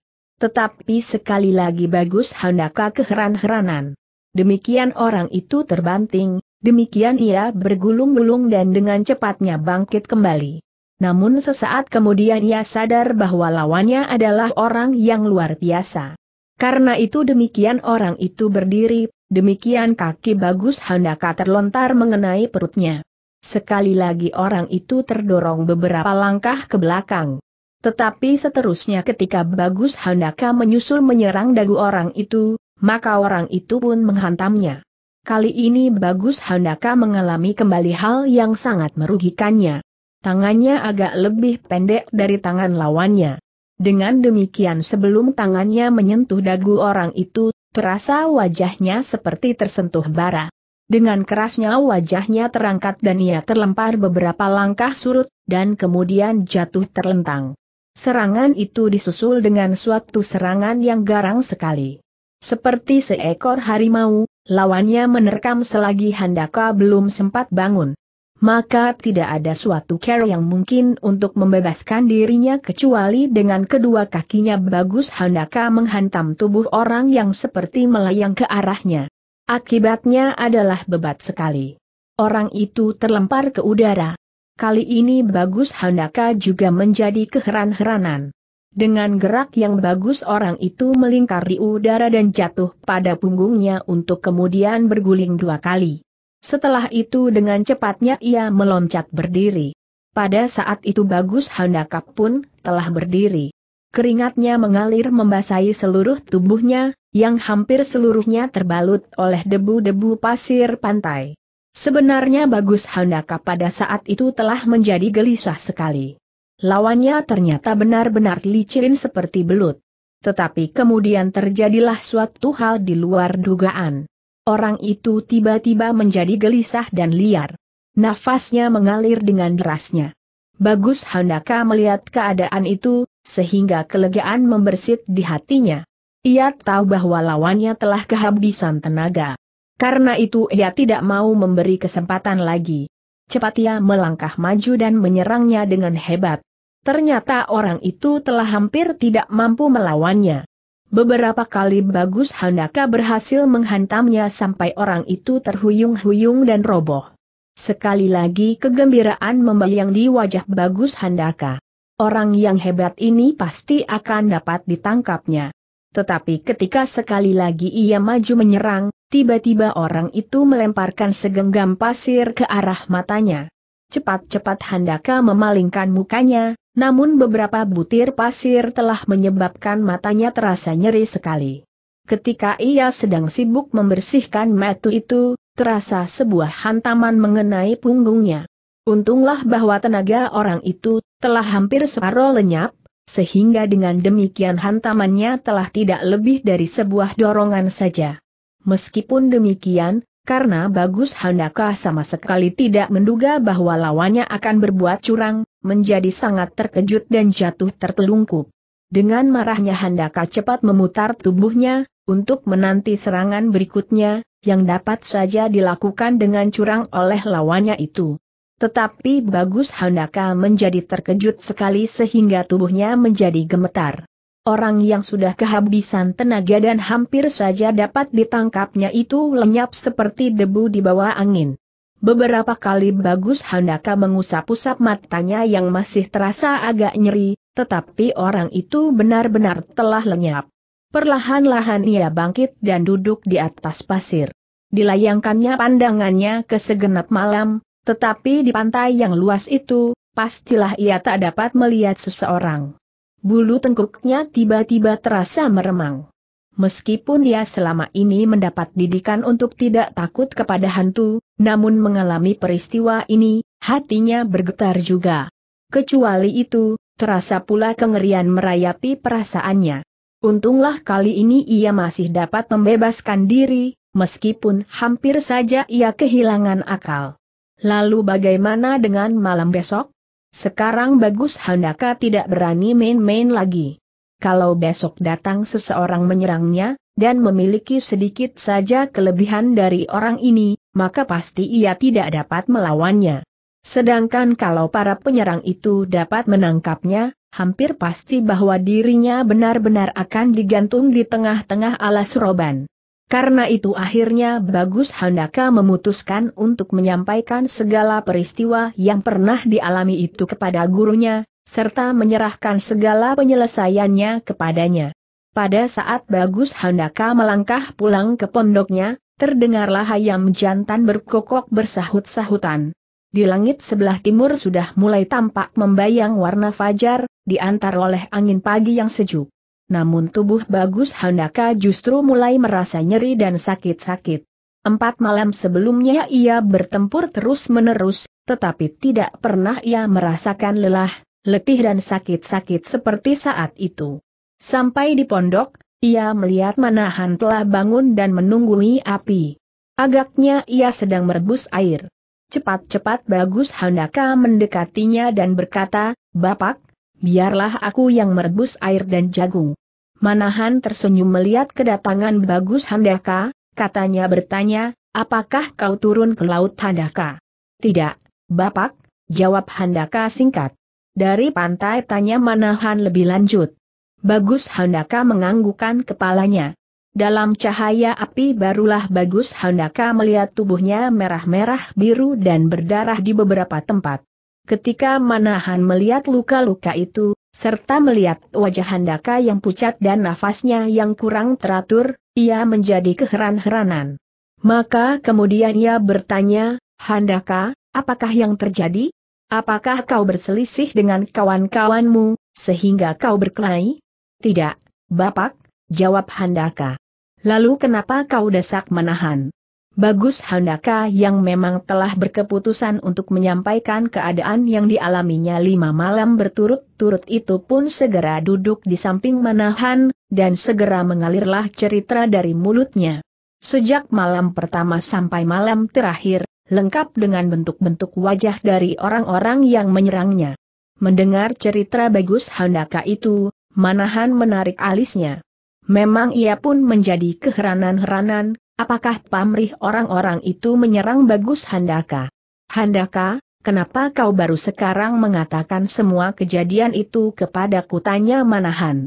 Dengan jujur Handaka mengatakan segala keinginannya untuk mengetahui kelanjutan peristiwa-peristiwa itu, serta keinginannya untuk menyelesaikan masalah itu sendiri. Manahan mengangguk-anggukan kepalanya. Sebenarnya di dalam hatinya berkobar pula kemarahan ketika ia mendengar bahwa orang kelima yang menyerang Bagus Handaka itu telah menyebut-nyebut namanya. Padahal pada saat orang itu ia hanya melawan seorang anak-anak. Handaka, kata Manahan kemudian, pergilah kau besok sekali lagi ke pantai. Aku akan melihat siapakah yang selalu datang itu. Mendengar kesanggupan gurunya, Handaka menjadi bergembira. Besok apabila benar-benar ada seseorang yang datang menyerangnya, meskipun kepandaiannya berlipat tiga, namun pasti orang itu akan dapat ditangkap oleh gurunya. Karena itu ia tersenyum-senyum sendiri. Dipandanginya api yang berkobar-kobar di hadapannya, yang bergerak-gerak seolah-olah menari-nari riang. Dan sebentar kemudian mendidihlah air yang dipanasinya. Segera ia bangkit untuk mengambil daun serai serta gula kelapa. Itulah kegemaran gurunya, air serai bergula kelapa. Hari itu rasa-rasanya panjang sekali bagi Bagus Handaka. Matahari seolah-olah menjalani garis edar dengan malasnya. Sehari itu ia merasa amat malas untuk bermain-main dengan kawan-kawannya. Dihabiskannya waktunya dengan berangan-angan. Namun akhirnya, perlahan-lahan datanglah senja. Langit yang cerah dengan gumpalan-gumpalan mega yang berarak-arak mulai dirayapi oleh warna-warna lembayung. Bagus Handaka yang hampir tidak sabar itu memaki-maki di dalam hati. Kenapa kedatangan malam tidak saja langsung tanpa melewati senja? Setelah melampaui masa-masa yang menjengkelkan, kemudian malam turun dengan tabir hitamnya. Bagus Handaka segera berangkat ke pantai, di mana ia biasa duduk-duduk memandangi ombak lautan.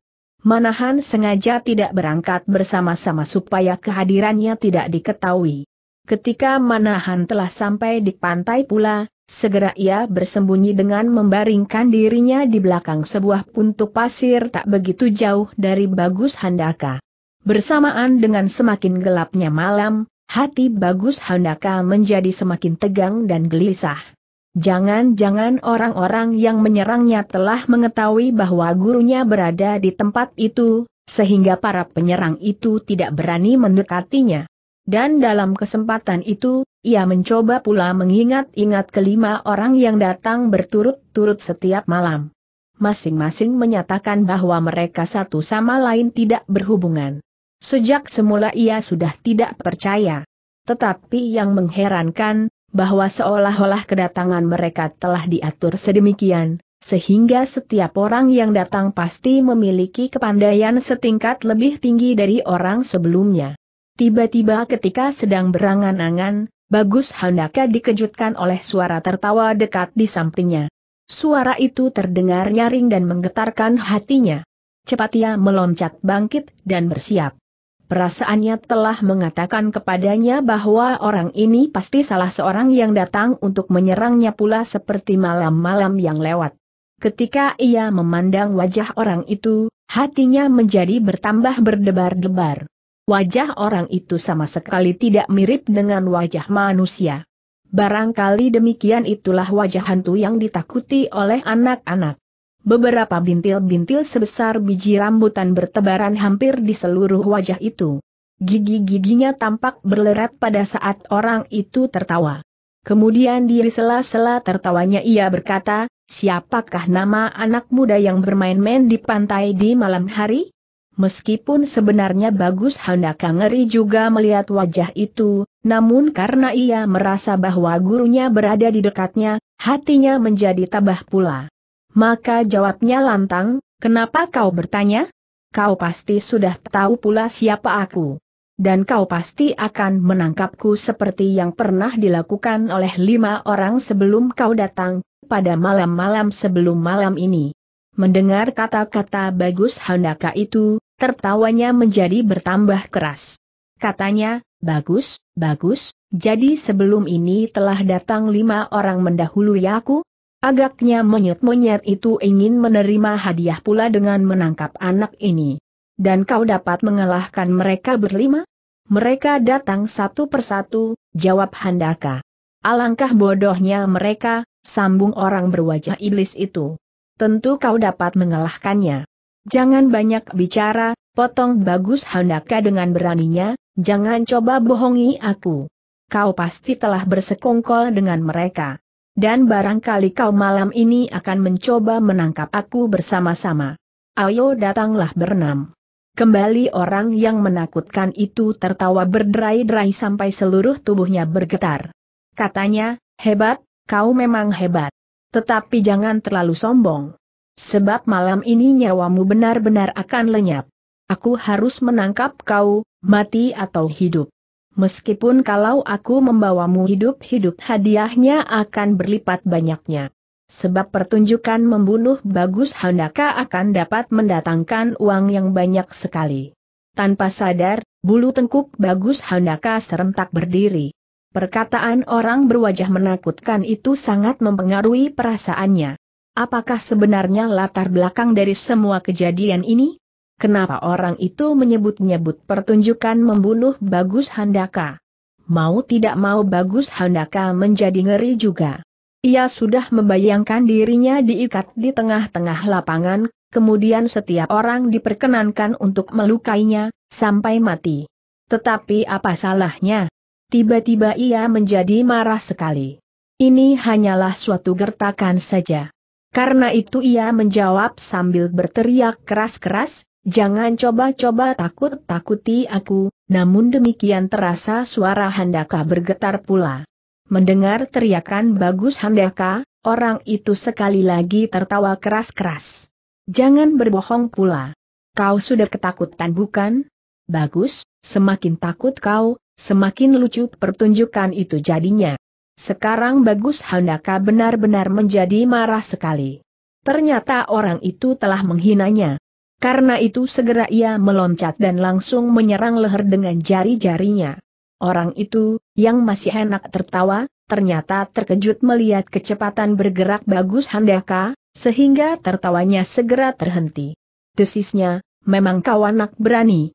Tetapi hati-hatilah, sambil berkata demikian ia merendahkan dirinya, dan dengan kakinya ia menghantam lambung bagus Handaka. Bagus Handaka yang menyerang dengan sekuat tenaga, tidak sempat menarik serangannya, maka yang dapat dilakukan adalah memukul kaki itu dengan tangannya ke samping. Ternyata usahanya berhasil pula. Orang itu terputar sedikit dan dengan demikian lambungnya dapat diselamatkan, meskipun tangannya yang berbenturan dengan kaki orang itu terasa sakit. Dengan demikian bagus Handaka segera dapat mengetahui, bahwa orang ini mempunyai ilmu di atas orang-orang yang pernah menyerangnya. Tetapi meskipun demikian ia sama sekali tidak gentar ketika diingatnya bahwa gurunya telah menungguinya. Mengingat hal itu, segera bagus Handaka menjadi bertambah tatak, karena itu serangannya menjadi bertambah sengit. Tetapi perlawanan orang itu bertambah sengit pula. Bahkan ia pun telah menyerangnya dengan gerak-gerak yang sangat membingungkan dan berbahaya sekali. Namun ternyata Bagus Handaka telah memberikan perlawanan dengan gigih. Setiap serangan yang datang, bagaimanapun berbahayanya, Handaka selalu dapat menghindarkan dirinya. Malahan tidak jarang pula ia pun berhasil membalas serangan-serangan itu dengan serangan-serangan yang tak kalah berbahayanya. Namun serangan-serangan itu pun selalu tidak berhasil pula. Maka pertempuran itu semakin lama menjadi bertambah hebat dan cepat. Masing-masing menyerang dan menghindar berganti-ganti, sehingga tampaknya kedua orang itu seperti bayangan yang sedang libat-melibat dengan cepatnya, semakin lama semakin cepat. Tetapi kemudian ternyata bahwa Bagus Handaka tidak dapat menyamai kecepatan gerak lawannya, sehingga tiba-tiba terasa punggungnya terdorong oleh suatu kekuatan yang besar sekali. Dengan derasnya ia terlempar ke udara. Mengalami peristiwa itu hati bagus Handaka berdesir. Untuk beberapa saat ia menjadi bingung. Tetapi untunglah bahwa otaknya yang cerdas dapat bekerja dengan cepat. Ia pernah menyaksikan lawannya terlempar ke udara pula, namun ia dapat jatuh dengan enaknya, seolah-olah sama sekali tidak terasakan sesuatu. Maka tanpa dikehendakinya sendiri Bagus Handaka menirukan gerak-gerak yang pernah disaksikannya itu. Cepat-cepat ia berusaha melingkarkan diri dan menjatuhkan diri pada punggungnya, yang kemudian dilanjutkan dengan berguling sampai dua kali. Setelah itu ia melenting berdiri. Untunglah bahwa Bagus Handaka telah dibekali dengan olah keperigelan yang cukup, serta kekuatan jasmaniah yang besar, sehingga meskipun gerak-geraknya masih belum sempurna, namun ia tidak pula mengalami sesuatu. Melihat cara Bagus Handaka membebaskan diri dengan cara yang demikian, terdengar lawannya tertawa keras-keras sambil berkata, Hai monyet kecil, dari mana kau belajar berjungkir balik demikian? Untunglah bahwa kau mengenal cara yang baik untuk menyelamatkan dirimu. Bagus Handaka tidak sempat menjawab kata-kata itu. Dengan darah yang mendidih ia meloncat maju kembali untuk menyerang lawannya sejadi-jadinya. Tangannya bergerak berganti-ganti mengarah ke segenap tubuh lawannya, sedang kakinya bergerak dengan lincahnya di atas pasir pantai. Tetapi ternyata lawannya tidak kalah lincah pula. Karena itu, maka untuk beberapa lama serangan-serangannya tidak dapat menyentuh tubuh lawannya sama sekali. Bahkan ketika ia mencoba untuk menyerang mata lawannya dengan jarinya, maka tiba-tiba terasa kepalanya berguncang hebat. Guncangan yang pertama, disusul dengan yang kedua. Untunglah dalam keadaan terakhir bagus Handaka masih sempat melihat sebuah kepalan tangan sekali lagi mengarah ke pelipisnya. Cepat-cepat ia memalingkan wajahnya. Tangan itu dengan derasnya menyambar tidak lebih dari tebal daun padi di muka hidungnya. Untunglah bahwa Bagus Handaka masih dapat bekerja cepat. Tangan itu segera ditangkapnya, serta sambil merendahkan diri ia pergunakan tenaga dorong serta berat badan lawannya sendiri untuk membantingnya ke tanah lewat pundaknya. Dengan kerasnya orang itu terpelanting. Tetapi meski ia jatuh terlentang namun ia berusaha jatuh di atas kedua kaki serta pundaknya saja yang menyentuh tanah. Bagus Handaka tidak mau membiarkannya dalam sikap yang demikian, cepat-cepat ia menyerang lagi lawannya sebelum sempat memperbaiki keadaannya. Dengan kakinya ia menghantam dada orang yang masih terlentang itu. Gerak Bagus Handaka sedemikian cepatnya sehingga lawannya tidak sempat menghindarinya. Maka terdengarlah keluhan pendek. Tetapi sesaat kemudian kaki lawannya itu dengan cepatnya menyapu kakinya, sehingga bagus Handaka jatuh terbanting pula. Ketika ia kemudian tegak, lawannya telah berdiri di hadapannya pula. Bahkan dengan suatu lontaran dahsyat ia menyerang ke arah dadanya. Dengan cepatnya bagus Handaka merendahkan dirinya, dan bersamaan dengan itu ia menjulurkan kakinya lurus-lurus, sehingga dengan demikian ia berhasil mengenai perut lawannya. Agaknya lawannya sama sekali tidak menyangka bahwa Bagus Handaka akan menyerang selagi ia melakukan serangan yang sedemikian cepat. Karena itu ia terdorong keras beberapa langkah surut disusul dengan serangan Bagus Handaka yang dahsyat pula. Demikianlah pertempuran itu berlangsung semakin hebat dan cepat. Pada malam kelima, Bagus Handaka yang hampir merasa dapat dikalahkan, ternyata memiliki nafas yang lebih baik dari lawannya sehingga akhirnya lawannya menjadi lemas karena kehabisan nafas. Tetapi orang keenam ini agaknya mempunyai nafas lebih baik dari kuda. Karena itu semakin lama terasa Bagus Handaka semakin terdesak, tenaganya semakin lama semakin berkurang pula setelah ia berjuang mati-matian untuk mempertahankan dirinya. Akhirnya pertempuran itu pun menjadi berat sebelah. Beberapa kali bagus Handaka terpaksa terlempar, terbanting dan kadang-kadang perutnya terasa terguncang-guncang hebat. Dari mulut serta hidung melelahlah darah segar. Sampai sedemikian jauh bagus Handaka tidak melihat gurunya datang membantunya. Bahkan ketika matanya sudah mulai berkunang-kunang pun Manahan masih belum menampakkan dirinya. Ia menjadi keheran-heranan. Apakah sebenarnya maksud Manahan dengan membiarkannya demikian? Seolah-olah segenap sisa-sisa tenaganya ia tetap melawan dengan beraninya. Sampai beberapa saat kemudian ketika ia terbanting di atas pasir dan seolah-olah ia sudah sama sekali tidak dapat bergerak lagi, dilihatnya orang berwajah menakutkan itu tertawa berderai sambil selangkah demi selangkah mendekatinya. Bagus Handaka tidak tahu lagi bagaimana ia harus melawan. Tangannya serasa sudah membeku dan darahnya seolah-olah sudah tidak mengalir lagi. Dalam keadaan yang demikian tiba-tiba orang itu, yang sudah tinggal beberapa langkah daripadanya, terhenyak dan memandang ke suatu titik. Maka sekali lagi meledaklah tertawanya yang mengerikan, disusul dengan suaranya yang menggelegar, Hai, kau kakak itu? Jadi kau datang pula untuk membantu muridmu. Mendengar suara orang itu, melonjaklah sebuah kegembiraan di hati Bagus Handaka. Agaknya gurunya telah datang. Dan apa yang diduganya adalah benar.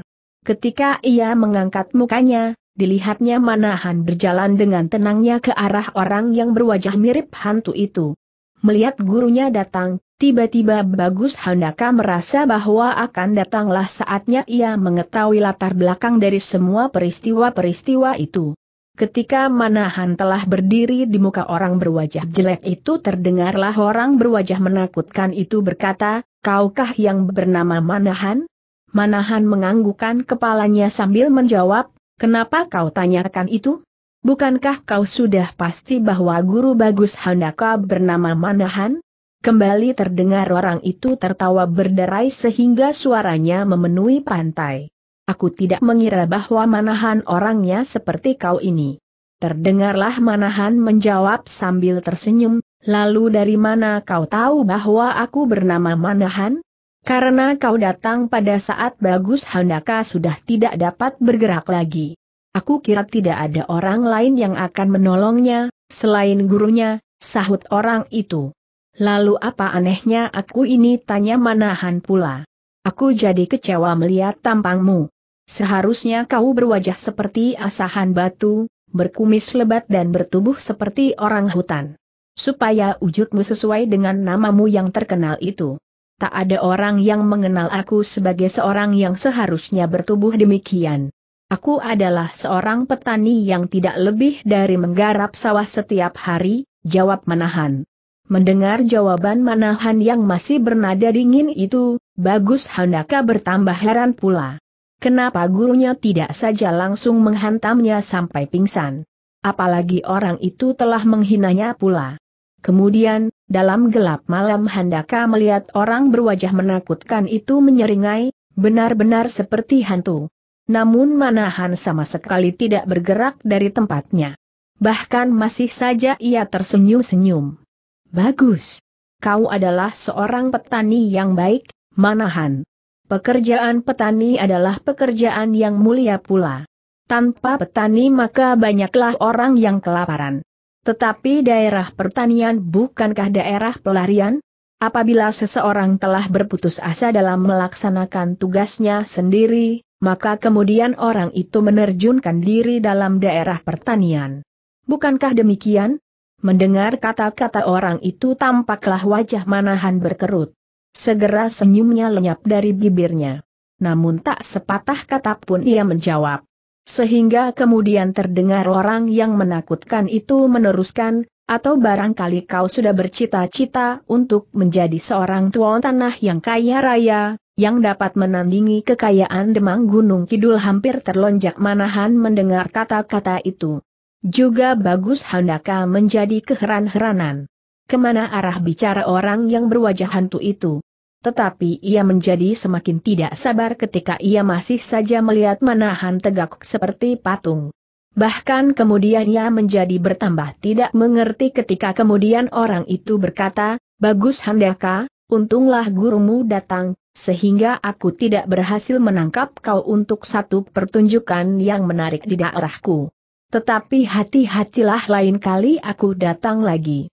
Setelah itu segera ia meloncat dan melarikan diri seperti terbang di gelap malam. Bapak teriak Bagus Handaka. Manahan memandang anak itu dengan wajah yang dingin pula. Sambil berdiri perlahan-lahan Bagus Handaka mendekati gurunya sambil berkata pula, kenapa Bapak membiarkan orang itu pergi? Selama ini aku ingin menangkap salah seorang di antaranya. Dengan hadirnya Bapak di sini aku mengharap bahwa aku akan dapat mengetahui alasan mereka menyerang aku. Tetapi Bapak membiarkan orang itu pergi. Bagus Handaka, kata Manahan tidak menjawab pertanyaan anak itu. Bagaimana keadaan tubuhmu? Sakit, Bapak? Jawabnya agak jengkel. Tetapi bagaimana dengan orang tadi? Kau sudah dapat bergerak kembali sambung Manahan tanpa menghiraukan kata-kata Bagus Handaka. Sudah, Bapak, jawab Handaka masih belum mengerti. Bagus. Bersiaplah. Aku adalah orang ketujuh yang akan menangkapmu, kata Manahan tiba-tiba. Bapak, Apakah artinya ini tanya Handaka semakin bingung.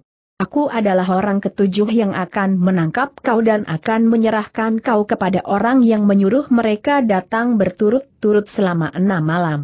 Aku sekarang sudah tahu, siapakah orang yang berdiri di belakang mereka. Dan aku juga ingin menerima hadiah itu supaya aku dapat kaya raya seperti di Manggunung Kidul. Jelas? Handaka mendengar kata-kata gurunya seperti orang bermimpi. Tetapi tiba-tiba ia melihat gurunya benar-benar bersiap untuk menyerangnya.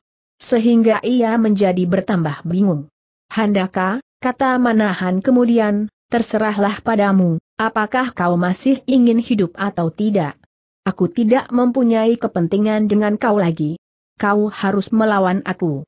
Kalau tidak, aku akan membawamu hidup-hidup. Kalau kau mau melawan, aku beri kau keringanan. Aku akan membawa kau setelah kau aku binasakan, supaya kau tidak menjadi bahan pertunjukan.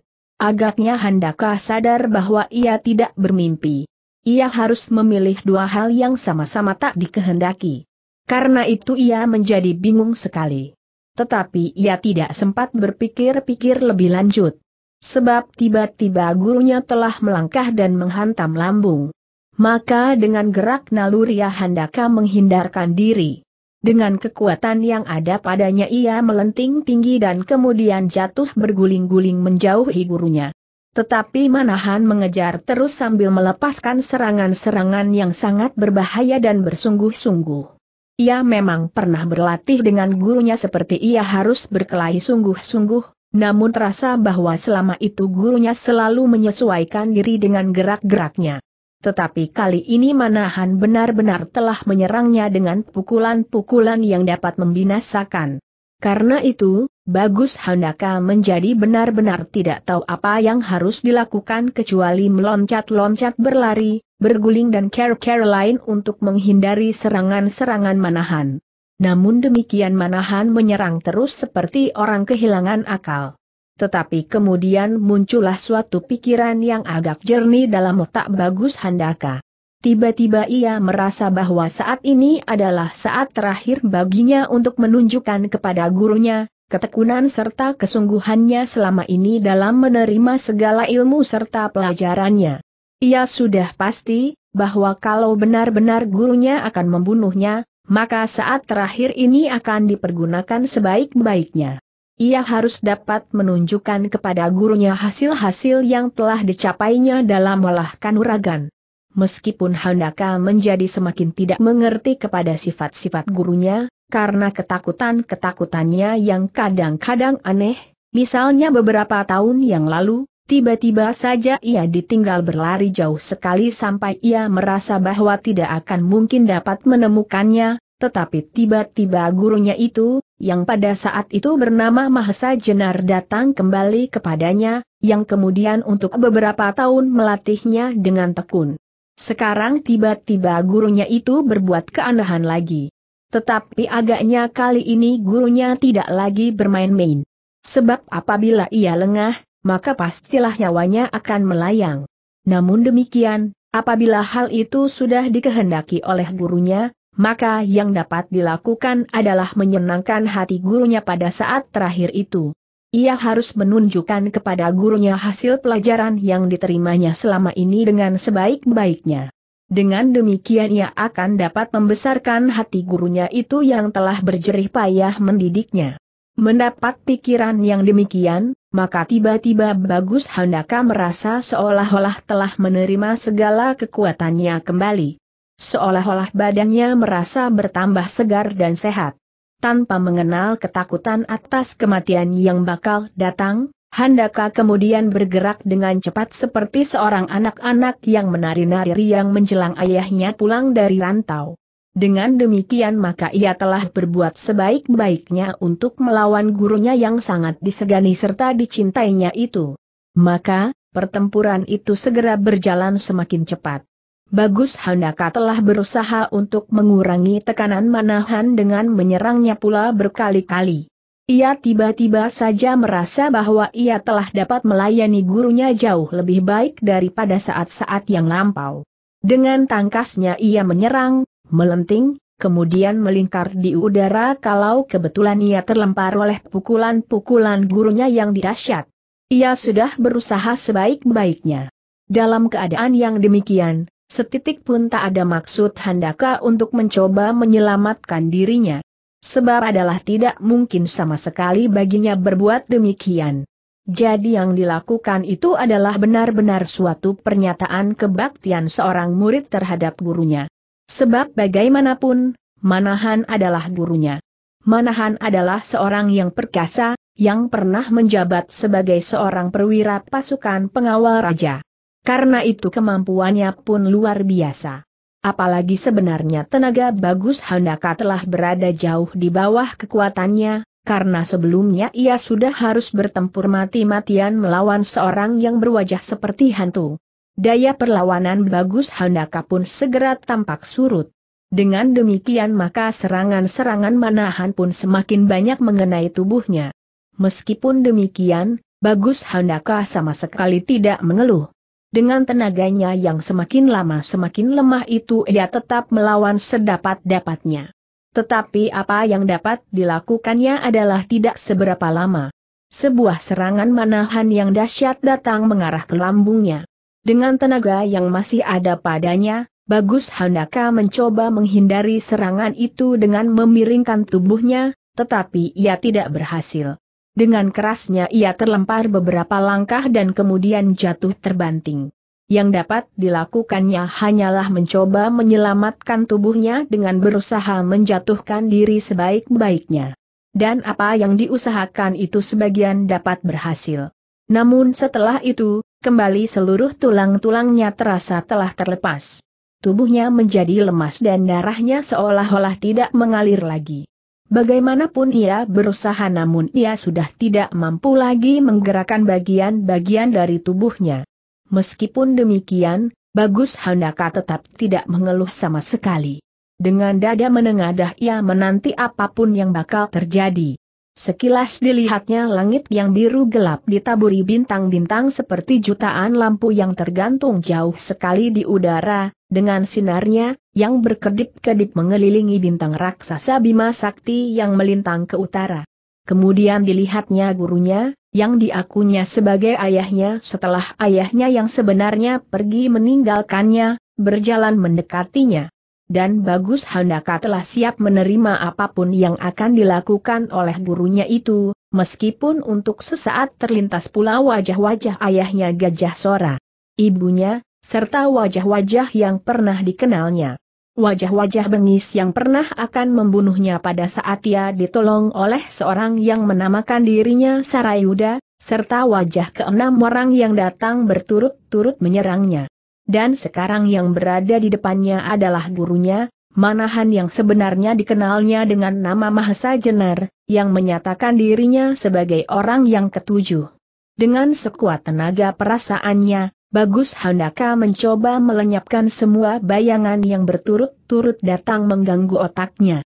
Dipusatkannya pikirannya untuk menghadapi apa pun yang bakal terjadi, dengan tabahnya. Dan tiba-tiba dirasanya tangan gurunya itu meraba-raba tubuhnya. Memijat-mijat tangannya dan kemudian dengan suara yang rendah berkata, Tidakkah kau dapat bergerak lagi Handaka? Dengan metu yang cerah, Bagus Handaka memandangi wajah gurunya. Jawabnya, aku sudah berusaha sebaik-baiknya, Bapak. Kemudian tampaklah Manahan merenungi anak itu. Alisnya yang lebat bergerak-gerak karena kerut-kerut di keningnya. Seolah-olah ia sedang menghitung setiap titik di permukaan tubuh muridnya. Sesaat kemudian terdengarlah Manahan menarik nafas dalam-dalam serta mengangguk-anggukan kepalanya. Lalu terdengar ia bertanya kembali, adakah dengan cara demikian kau melawan orang-orang yang menyerangmu enam malam berturut-turut? Bagus Handaka tidak segera mengerti maksud pertanyaan gurunya. Karena untuk beberapa saat ia tidak menjawab, terdengar kembali Manahan berkata, ingat-ingatlah apa yang telah kau lakukan selama enam malam berturut-turut. Bagus Handaka semakin tidak mengerti. Tetapi ia menjawab juga, Bapak, selama itu aku pun telah berusaha sebaik-baiknya melawan mereka. Bahkan aku sudah mencoba untuk menangkap salah seorang di antaranya. Tetapi aku tidak berhasil. Sekali lagi Manahan mengangguk-anggukan kepalanya, sedangkan Bagus Handaka menjadi bertambah bingung. Apalagi ketika kemudian dilihatkan gurunya tersenyum sambil membangunkannya. Duduklah Handaka. Dan cobalah menggerak-gerakan tubuhmu perlahan-lahan, dengan otak yang dipenuhi oleh berbagai pertanyaan, Bagus Handaka mencoba sedapat-dapatnya untuk bangun dan kemudian bertahan duduk di atas pasir pantai. Adakah gurunya menunggu sampai ia mampu untuk melawannya kembali? Tetapi, ternyata Manahan tidak berbuat demikian. Juga ternyata gurunya itu tidak membunuhnya. Malahan kemudian gurunya itu duduk pula di sampingnya dan dengan wajah yang jernih berkata, Sudahkah kau ingat keenam orang yang menyerangmu? Sambil mengangguk, Bagus Handaka menjawab sekenanya saja, sudah, Bapak. Baik sahut Manahan, kau pernah berkata kepadaku tentang wajah-wajah dari kelima orang itu, sedang orang yang keenam telah aku saksikan sendiri. Tetapi kau belum pernah menceritakan kepadaku bagaimanakah bentuk tubuh kelima orang yang menyerangmu itu. Untuk sesaat Bagus Handaka jadi termenung. Memang selama itu ia belum pernah menyebut-nyebut bentuk tubuh lawan-lawannya. Dan sekarang tiba-tiba gurunya menanyakan hal itu. Maka dicobanya sekali lagi untuk membayangkan kembali kelima orang itu berturut-turut. Bagaimanakah dengan orang yang pertama tanya menahan? Dengan masih mencoba mengingat-ingat orang itu bagus Handaka menjawab, orang itu bertubuh tegap tinggi dan berdada bidang. Orang kedua desak menahan dengan mengingat-ingat mengerti sepenuhnya maksud pertanyaan gurunya, karena itu setelah merenung beberapa lama ia menjawab hampir berteriak, semuanya bertubuh tegap tinggi dan berdada bidang. Lalu bagaimanakah pendapatmu mengenai mereka itu tanya Manahan pula. Bagus Handaka dia menimbang-nimbang. Tetapi kemudian ia berkata, itu adalah aneh, Bapak. Tubuh mereka bernam hampir bersamaan. Hanya wajah merekalah yang agaknya berbeda-beda. Kau yakin bahwa wajah mereka berbeda-beda desak menahan. Mendengar pertanyaan gurunya, tiba-tiba Handaka menjadi ragu. Memang sepintas lalu, apalagi di dalam gelapnya malam, wajah-wajah mereka tampak berbeda-beda. Sayang, aku tak dapat menangkapnya, gumam bagus Handaka. Terdengarlah Manahan tertawa pendek, lalu katanya, Inginkah kau menangkapnya? Ya, jawab Handaka. Aku ingin tahu kenapa mereka menyerang aku. Dan kenapa aku menjadi orang ketujuh tanya Manahan pula. Bagus Handaka menatap Manahan dengan pandangan yang aneh. Apa yang terjadi lima malam berturut-turut telah cukup memusingkan kepalanya. Apalagi malam yang keenam itu. Segalanya menjadi semakin kabur dan penuh teka-teki. Melihat Bagus Handaka kebingungan, berkatalah Manahan, Handaka. Meskipun aku tidak menyaksikan, namun aku berani meyakinkan bahwa keenam orang yang menyerangmu berturut-turut itu pasti mempunyai persamaan bentuk tubuh. Dan ketahuilah Handaka bahwa kau jangan mimpi untuk dapat menangkapnya. Metro Handaka masih memancarkan pertanyaan-pertanyaan yang membingungkan. Katanya, tetapi orang yang pertama, kedua dan ketiga adalah orang-orang yang belum memiliki ilmu yang cukup tinggi. Sehingga aku mempunyai kemungkinan yang besar untuk dapat menangkapnya. Mendengar kata-kata itu Manahan tersenyum. Jawabnya, meskipun demikian, bukankah ternyata kau tidak mampu menangkapnya? Bagus Handaka mengangguk mengiyakan. Jangankan kau Handaka, sambung Manahan, sedang aku pun tidak berani bermimpi untuk dapat menangkapnya. Mendengar perkataan itu Handaka terkejut bukan main, sampai ia tergeser ke samping. Matanya semakin membayangkan kebingungan yang memenuhi hatinya. Handaka, kata Manahan seterusnya dengan perasaan iba, sudah sewajarnya kalau kau menjadi bingung karenanya. Handaka mendengarkan kata-kata gurunya itu dengan saksama, meskipun sikap gurunya itu tidak kalah membingungkan pula. Pertama-tama ketahuilah, bahwa apa yang aku lakukan, tidaklah benar-benar seperti apa yang aku katakan. Otakku masih cukup sehat untuk tidak melakukan hal-hal seperti itu. Sedang apa yang aku lakukan, adalah untuk meyakinkan dugaanku terhadap keenam orang yang telah menyerangmu enam malam berturut-turut. Dengan caraku itu aku kemudian yakin siapakah orang-orang yang datang berturut-turut itu. Guru, potong Handaka dengan penuh haru, jadi Bapak tidak benar-benar mau membunuhku? Mendengar pertanyaan bagus Handaka, Manahan jadi terharu. Jawabnya sambil membelai kepala anak itu, kenapa aku akan membunuhmu? Bukankah Bapak sendiri berkata demikian jawab Handaka? Dan kau telah mencoba mempertahankan dirimu tanya Manahan pula. Tidak, Bapak. Aku sama sekali tidak berusaha untuk menyelamatkan diri, tetapi aku hanya bermaksud untuk menunjukkan hasil pelajaran-pelajaran yang aku terima selama ini pada saat-saat terakhir. Diam-diam Manahan memuji di dalam hati. Benar-benar anak ini berhati bersih dan setia. Karena itu Manahan menjadi semakin terharu. Namun demikian ia berusaha agar wajahnya sama sekali tidak membayangkan perasaannya. Handaka, kata Manahan kemudian, Baiklah aku beritahukan dugaanku atas semua kejadian-kejadian yang berlaku itu, supaya kau tidak terlalu lama menebak. Handaka menjadi sangat tertarik. Karena itu ia menggeser duduknya semakin dekat dengan gurunya. Handaka, Manahan melanjutkan, mengucapkan syukur atas semua peristiwa yang berlaku enam malam berturut-turut.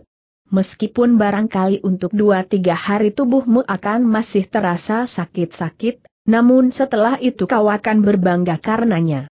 Apakah yang dapat aku banggakan Bapak tanya Handaka? Manahan tersenyum, lalu jawabnya, aku telah mencoba untuk memancingmu dalam suatu perkelahian. Apa pun alasanmu tetapi kau telah berbuat sebaik-baiknya. Sedang apa yang kau lakukan sebagian adalah bukan hasil pelajaran yang aku berikan. Bapak, potong Handaka, kenapa kau berbuat demikian? Aku tidak pernah belajar kepada siapa pun kecuali kepada Bapak. Kembali Manahan tersenyum. Katanya, meskipun andai kata unsur-unsur itu tidak kau miliki sekarang, kemudian aku pun akan memberikannya pula. Tetapi kemajuan yang kau capai selama lima hari akan sama dengan kemajuan yang akan kau capai dalam waktu berbulan-bulan apabila hal itu kau pelajari dariku, serta dalam keadaan yang biasa masih saja Handaka belum mengerti maksud gurunya. Sehingga kemudian Manahan berkata pula, Handaka, menurut dugaanku orang yang datang enam malam berturut-turut itu adalah orang yang sama. Orang yang sama tanya Handaka keheran-heranan. Ya, jawab Manahan. Orang itu hanya mengubah mukanya sedikit dengan menggores-goreskan warna-warna hitam dan kadang-kadang memasang kumis dan janggut palsu. Tetapi tingkat kepandaiannya sama sekali tidak sama, Bapak, potong Handaka. Sekali lagi Manahan tersenyum. Jawabnya, itulah sebabnya kepandaianmu meningkat dengan wajar, meskipun waktunya dipercepat. Dan ketahuilah bahwa yang dapat berbuat demikian hanyalah orang-orang sakti yang berilmu mumpuni. Handaka menjadi termenung karenanya. Jadi apakah maksudnya menyerangku? Dan kenapa dikatakannya bahwa orang-orang itu akan menangkap aku untuk sebuah pertunjukan pembunuhan tanya Handaka. Satu-satunya care untuk memaksamu bekerja sekeras-kerasnya adalah menakut-nakutimu dengan care demikian, jawab Manahan. Bagus Handaka menarik nafas dalam-dalam. Mengertilah ia sekarang bahwa orang yang datang setiap malam itu sama sekali tidak akan membunuhnya seperti gurunya itu pula. Adakah Bapak mengenal orang yang datang setiap malam itu? Tanya Handaka kemudian. Manahan menggelengkan kepalanya. Jawabnya, aku tidak tahu. Meskipun aku telah berusaha mengenal gerak-geraknya sebaik-baiknya namun aku tetap tidak dapat mengatakan siapakah dia apalagi apa yang diberikan kepadamu selama ini ternyata adalah urut-urutan pelajaran dari ilmuku sendiri yang akan aku berikan pula kepadamu. Sekarang semuanya menjadi agak jelas bagi Handaka. Ternyata orang itu datang kepadanya dengan maksud baik. Menuntunnya untuk berlatih lebih keras. Dan taulah ia sekarang kenapa pada malam-malam pertama, kedua dan ketiga orang itu seolah-olah hanya memiliki unsur-unsur gerak yang itu-itu saja, sehingga dengan demikian ia berhasil menguasai unsur-unsur itu, serta kemudian pada malam-malam berikutnya tanpa disengajanya unsur-unsur itu terselip pada gerak-gerak perlawanannya, sedang lawan-lawannya dapat memberikan perlawanan sebaik-baiknya dan diulang-ulangnya pula. Karena itu, dadanya jadi bergelora. Apalagi ketika gurunya berkata, Handaka, orang yang datang berturut-turut itu pastilah seorang yang sakti, jauh lebih sakti dari gurumu ini. Itulah sebabnya aku sama sekali tidak berusaha untuk menangkapnya, sebab hal itu pasti akan sia-sia. Hal itu juga ternyata pula, bahwa orang itu dapat mengetahui bahwa aku berada di sekitar ini meskipun aku telah bersembunyi sebaik-baiknya. Handaka mengangguk-anggukan kepalanya. Hal itu sama sekali tak pernah dibayangkan sebelumnya, bahwa seorang yang sakti, bahkan lebih sakti dari gurunya, datang kepadanya dengan care-care yang aneh. Katanya, jadi Bapak diketahuinya sebelum Bapak menampakkan diri. Tidak hanya itu saja Handaka, Manahan meneruskan, sedang aku pun telah menerima nasihatnya pula. Nasihat untuk Bapak tanya Handaka terkejut.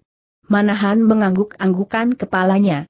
Jawabnya, bukankah orang itu berkata kepadaku bahwa pertanian bukanlah daerah pelarian? Bukan daerah tempat orang-orang yang berputus asa apabila kewajibannya sendiri sudah tak dapat ditunaikan. Handaka memandang Manahan dengan metu yang bertanya-tanya. Ia sama sekali tidak tahu maksud perkataan itu. Sampai Manahan melanjutkan, Handaka, barangkali kau sama sekali tak dapat menghubungkan perkataan-perkataan itu dengan keadaan kita. Tetapi ketahuilah bahwa ada sesuatu hal yang selama ini belum pernah aku katakan kepadamu, sebab kau masih aku anggap terlalu kanak-kanak. Sekarang, aku kira kau telah cukup dewasa untuk mengetahui lebih banyak hal tentang keadaan kita. Keadaan serta kewajiban-kewajibanku dan keadaan serta kewajiban-kewajibanmu. Bagus Handaka mendengarkan setiap kata gurunya dengan saksama. Sakit-sakitnya di seluruh tubuhnya sudah tidak dirasakannya lagi. Sementara itu angin malam bertiup lemah, dan bintang-bintang di langit telah mengubah susunannya bintang waluku telah jauh condong di barat, sedang bintang Bima Sakti telah mulai mengabur pada kedua ujungnya, jauh di selatan dan utara. Bagus Handaka, Manahan meneruskan perlahan-lahan. Sebenarnya saat ini aku sedang mengemban suatu tugas yang berat. Tugas yang tidak boleh diketahui oleh orang lain. Sekarang, karena kau telah cukup dewasa, ternyata seorang sakti yang tak dikenal telah berkenan langsung mengajarmu, maka baiklah aku berterus terang pula. Saat ini aku sedang berusaha untuk mencari dua pusaka istana yang hilang, berwujud keris yang bernama Kiai Naga Sastra dan Kiai Sabuk Inten. Handaka mendengarkan cerita gurunya sampai tidak sempat berkedip. Sedang Manahan kemudian bercerita tentang kedua keris yang pernah diketemukannya bersama ayahnya, Gajah Sora. Tetapi keris itu kemudian hilang kembali.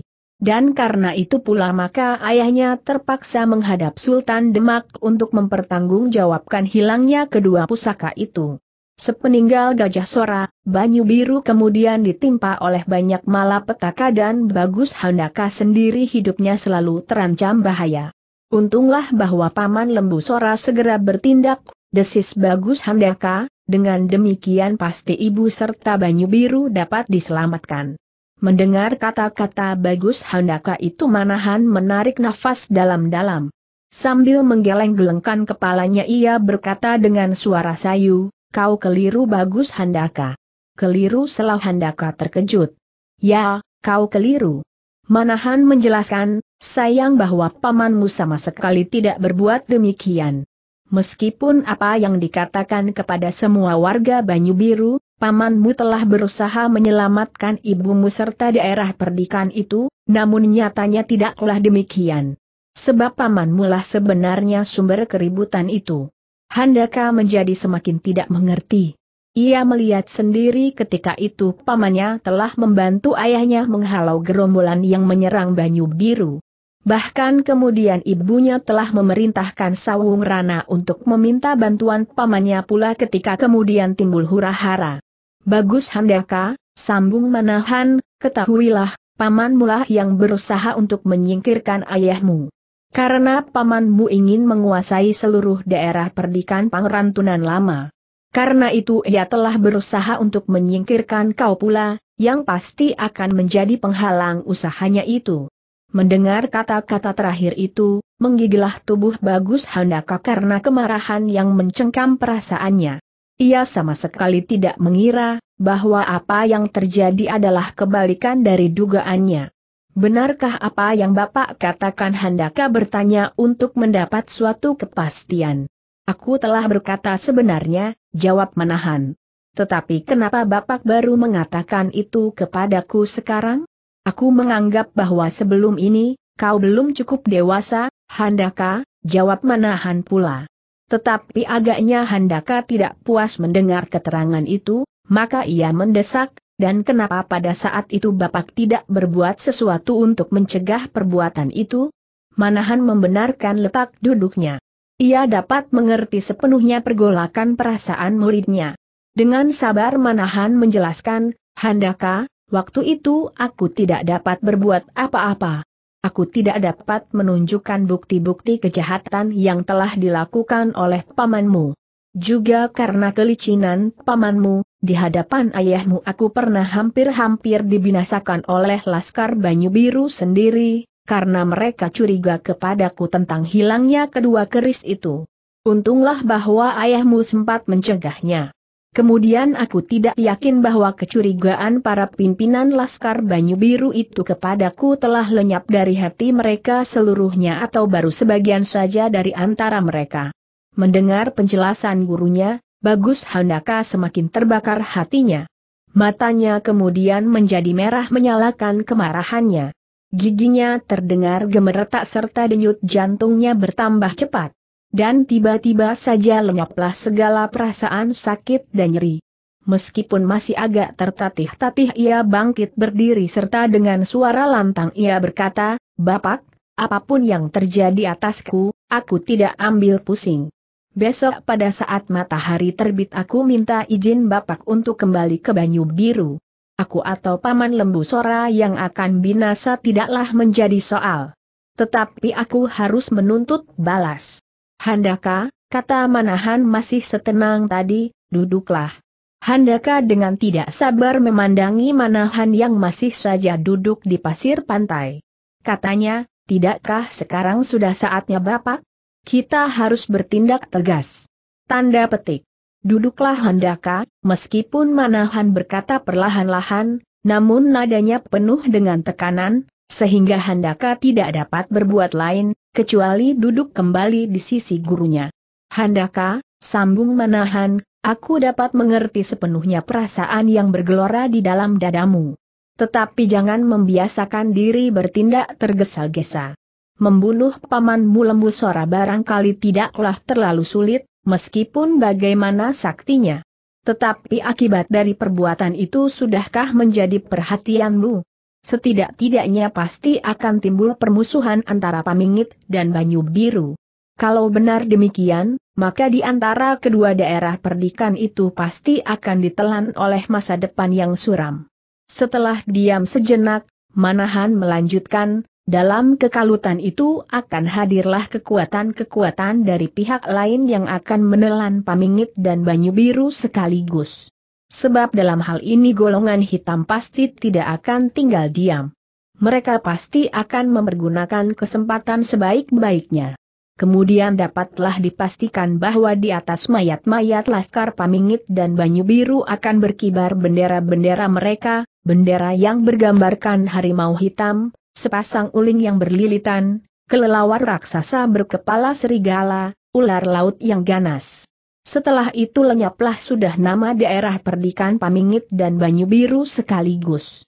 Lenyap pula lah hasil jerih payah yang musora di Payana yang dengan memeras keringat dan darah membangun kedua daerah Perdikan itu. Lenyap pula lah nama kebesaran keluarga Sora yang selama ini disegani oleh daerah-daerah lain, bahkan sampai ke Istana Demak. Yang ada kemudian tinggallah nama-nama Simarodra, Uling Rawa Pening, Lawa Ijo, dan Jaka Soka. Bagus Handaka adalah seorang anak yang cerdik. Karena itu segera ia dapat menangkap maksud gurunya. Namun meskipun demikian amat sulitlah baginya untuk mengendalikan perasaannya. Maka bertanyalah ia, Bapak, kalau demikian apakah kita biarkan saja Paman Lembu Sora tidak terhukum atas kesalahannya itu? Itu pasti Handaka, jawab Manahan.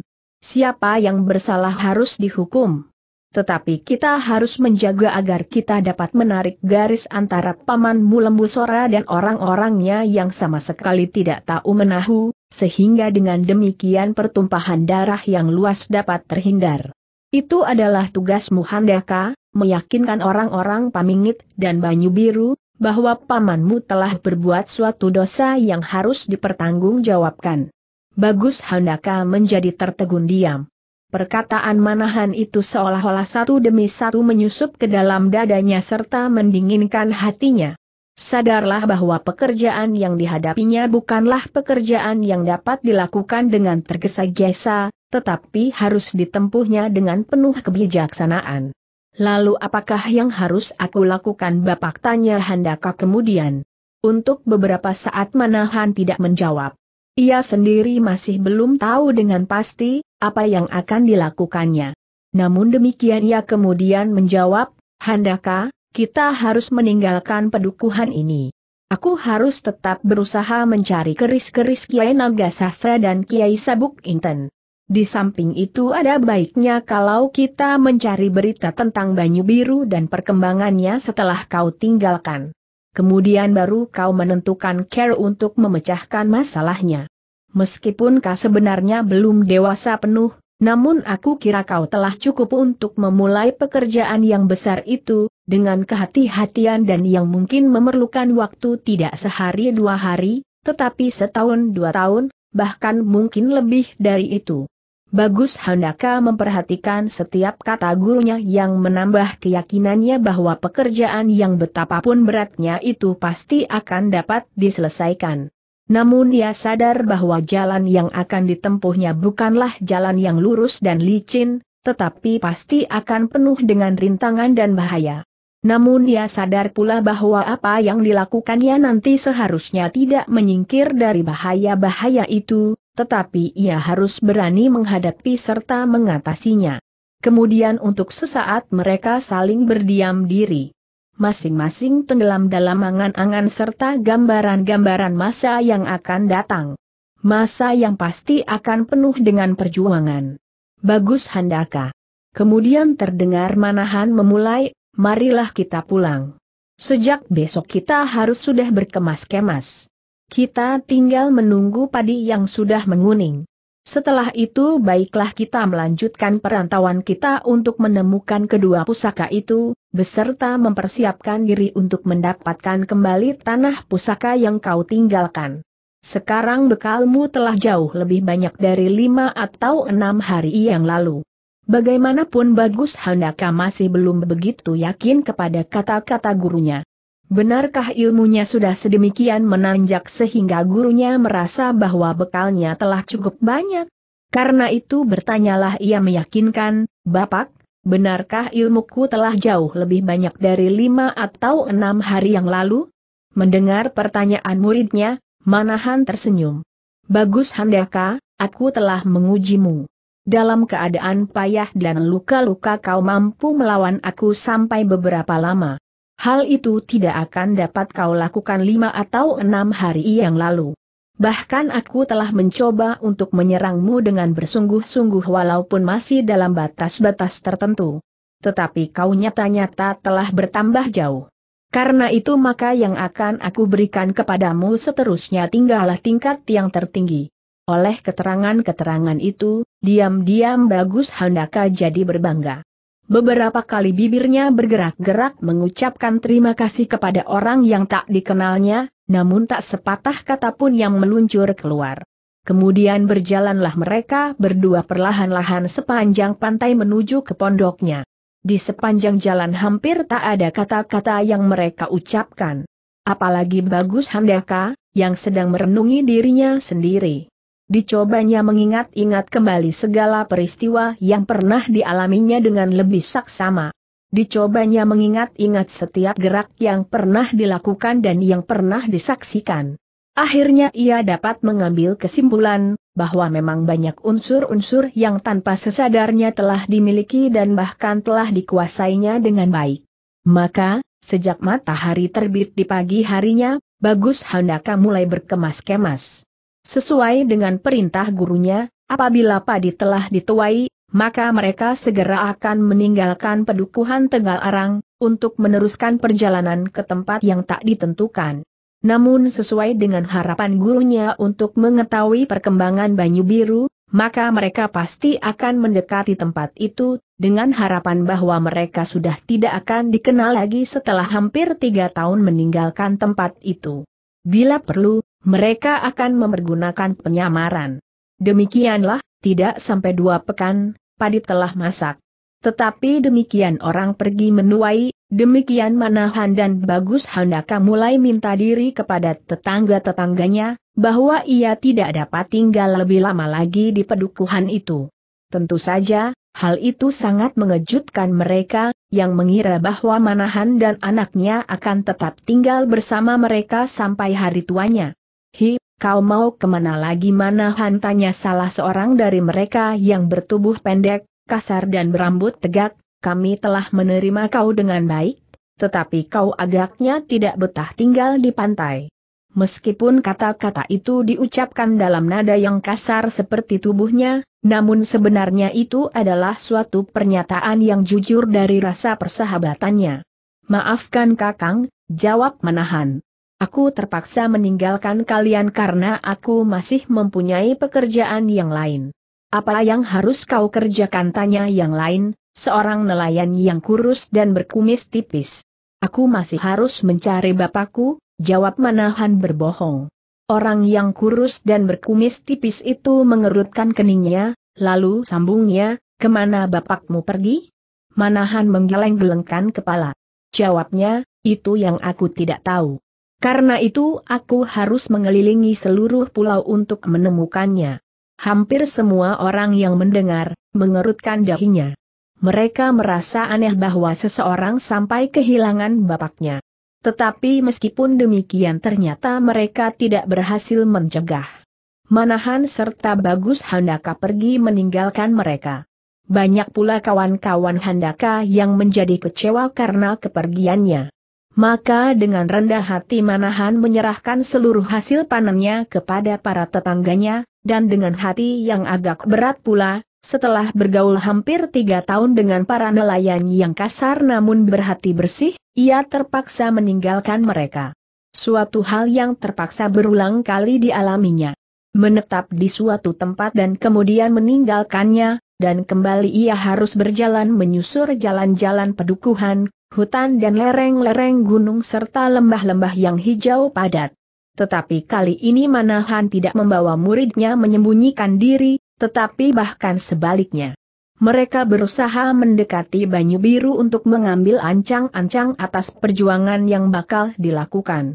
Mereka harus lebih dahulu mengetahui seluk-beluk daerah itu dan mengetahui tanggapan rakyatnya terhadap pimpinan daerah yang sebenarnya tidak berhak sama sekali itu. Dengan Kiai Bancak, tanda kebesaran Banyu Biru yang berwujud sebuah ujung tombak, di pinggangnya, setelah dilepas dari tangkainya, Bagus Handaka berjalan dengan tegapnya menuju ke arah selatan. Manahan yang berjalan di belakangnya memandangi anak itu dengan bangga. Ia mengharap agar Bagus Handaka benar-benar dapat menjadi seorang anak yang kuat dan berhati mulia seperti harapan ayahnya. Tetapi dengan demikian Manahan jadi teringat kepada Gajah Sora. Apakah kira-kira yang terjadi atasnya? Namun ia percaya bahwa Gajah Alit dan Paningron dapat membantu kesulitannya. Setidak-tidaknya memperingan tuduhan yang ditimpakan atasnya. Perjalanan Manahan dan Handaka kemudian sampai pada daerah hutan dan kemudian mereka harus menyusur kaki Gunung Slamet, membelok ke arah timur. Demikianlah dari hari ke hari mereka selalu berjalan tanpa henti-hentinya. Ternyata kekuatan jasmaniah bagus Handaka cukup memuaskan. Ia sama sekali tetap segar dan lincah. Di samping itu selama perjalanan mereka, masih sempat juga Manahan memberikan tambahan pengetahuan kepada muridnya. Dan bahkan karena kecerdasan bagus Handaka, maka dapatlah ia menemukan unsur-unsur gerak yang bagus, yang ditirunya dari gerak-gerak binatang buas. Dengan tuntunan burunya, Bagus Handaka yang hampir menghabiskan waktunya selama perjalanan itu dengan memperhatikan gerak-gerik kera-kera yang berloncatan dari dahan ke dahan, maka kemudian ia berhasil menirukan beberapa bagian, yang dapat dileburnya ke dalam unsur-unsur gerak yang telah dimilikinya. Handaka juga senang sekali memperhatikan perkelahian antar binatang. Dari binatang yang paling buas sampai binatang yang paling lemah. Diperhatikannya pula, Bagaimana seekor kancil berhasil melepaskan diri dari terkaman serigala-serigala yang buas, dan bagaimana seekor benteng dengan tangguhnya menanti serangan seekor harimau dan kemudian dengan tanduk-tanduknya yang tajam membinasakannya. Dengan demikian bagus Handaka mendapatkan berbagai macam pengetahuan dari alam. Manahan sendiri sebenarnya kagum atas ketangkasan otak muridnya, maka ia menjadi semakin bangga bahwa tidak sia-sialah ia menuntun anak itu. Karena itu, Manahan selalu memberinya petunjuk-petunjuk atas kemungkinan-kemungkinan yang dapat dimanfaatkan dari setiap gerak yang dilihatnya. Kecuali gerak-gerak binatang, juga gerak-gerak dari benda-benda yang lain, seperti angin pusaran, air bah dan bahkan kelincahan gerak nyala api. Demikianlah, di sepanjang perjalanan itu, tidak sedikitlah pengetahuan yang ditangkap oleh Handaka. Dan karena itu pula ia sama sekali tidak merasakan suatu kejemuan atau keletihan selama ia bersama-sama dengan gurunya menyusuri jalan-jalan hutan yang lebat dan sulit.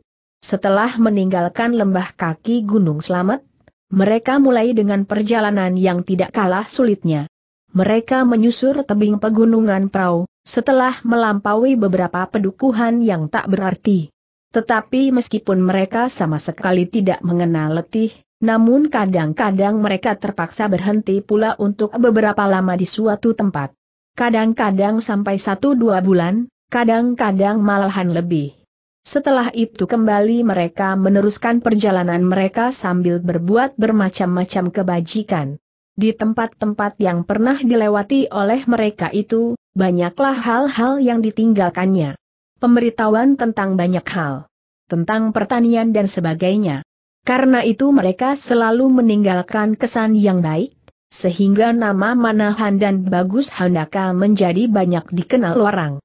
Pada suatu kali mereka memasuki sebuah pedukuhan yang sepi di ujung hutan. Penduduknya yang menamakan pedukuhannya itu gedangan, terdiri dari petani-petani yang menggarap sawah dengan cara yang sederhana sekali mereka masih belum begitu menaruh perhatian kepada saluran-saluran air. Untunglah bahwa tanah mereka adalah tanah yang subur, sehingga meskipun dengan cara-cara yang sangat sederhana, hasil pertanian mereka dapat mencukupi kebutuhan. Berbeda dengan pengalaman-pengalaman mereka, Manahan dan Bagus Handaka ketika memasuki pedukuhan itu, mengalami penerimaan yang aneh. Hampir setiap match memandang mereka dengan penuh kecurigaan. Manahan dan Handaka merasakan keasingan penerimaan itu. Karena itu mereka bersikap hati-hati dan berusaha untuk tidak menyinggung perasaan mereka. Kepada salah seorang dari para petani yang sedang berdiri di pematang, Manahan bertanya dengan hormatnya, Kakang, apakah aku diperkenankan untuk memasuki pedukuhan ini? Orang itu tidak segera menjawab. Tetapi sekali dua kali ia melemparkan pandangannya kepada beberapa orang yang bertebaran menggarap sawah di sekitarnya. Baru setelah beberapa saat ia menjawab, siapakah kau berdua? Aku bernama Manahan dan ia anakku, Handaka, jawab Manahan. Mendengar nama itu, orang itu mengernyitkan alisnya. Agaknya nama itu asing baginya. Kemudian terdengar ia berkata, entahlah aku tak tahu. Berkatalah kepada lurah kami. Manahan mengangguk-anggukan kepalanya, sambil bertanya pula, di manakah bapak lurah itu? Di rumahnya jawab yang ditanya pendek. Maksudku, di mana rumahnya sambung Manahan? Kembali orang itu ragu-ragu dan kembali ia menebarkan pandangannya kepada orang-orang yang sedang menggarap sawah di sekitarnya. Tiba-tiba ia menunjuk pada salah seorang daripadanya sambil berkata, bertanyalah kepada orang itu. Manahan menoleh menurut arah tangan orang itu. Dilihatnya di sudut desa berdiri seorang yang bertubuh pendek kokoh dengan urat-urat yang menonjol. Namun matanya membayangkan kejernihan hatinya. Setelah mengucapkan terima kasih, segera Manahan dan Handaka berjalan ke arah orang bertubuh pendek itu. Dan kemudian dengan hormatnya Manahan bertanya, adakah Bapak ini lurah dari pedukuhan ini? Orang itu menggelengkan kepalanya, sambil menjawab, bukan kisanak, aku bukan lurah di sini. Adakah kau punya keperluan dengan lurahku? Manahan menganggukkan kepalanya. Sambungnya, demikianlah, aku mempunyai sedikit keperluan.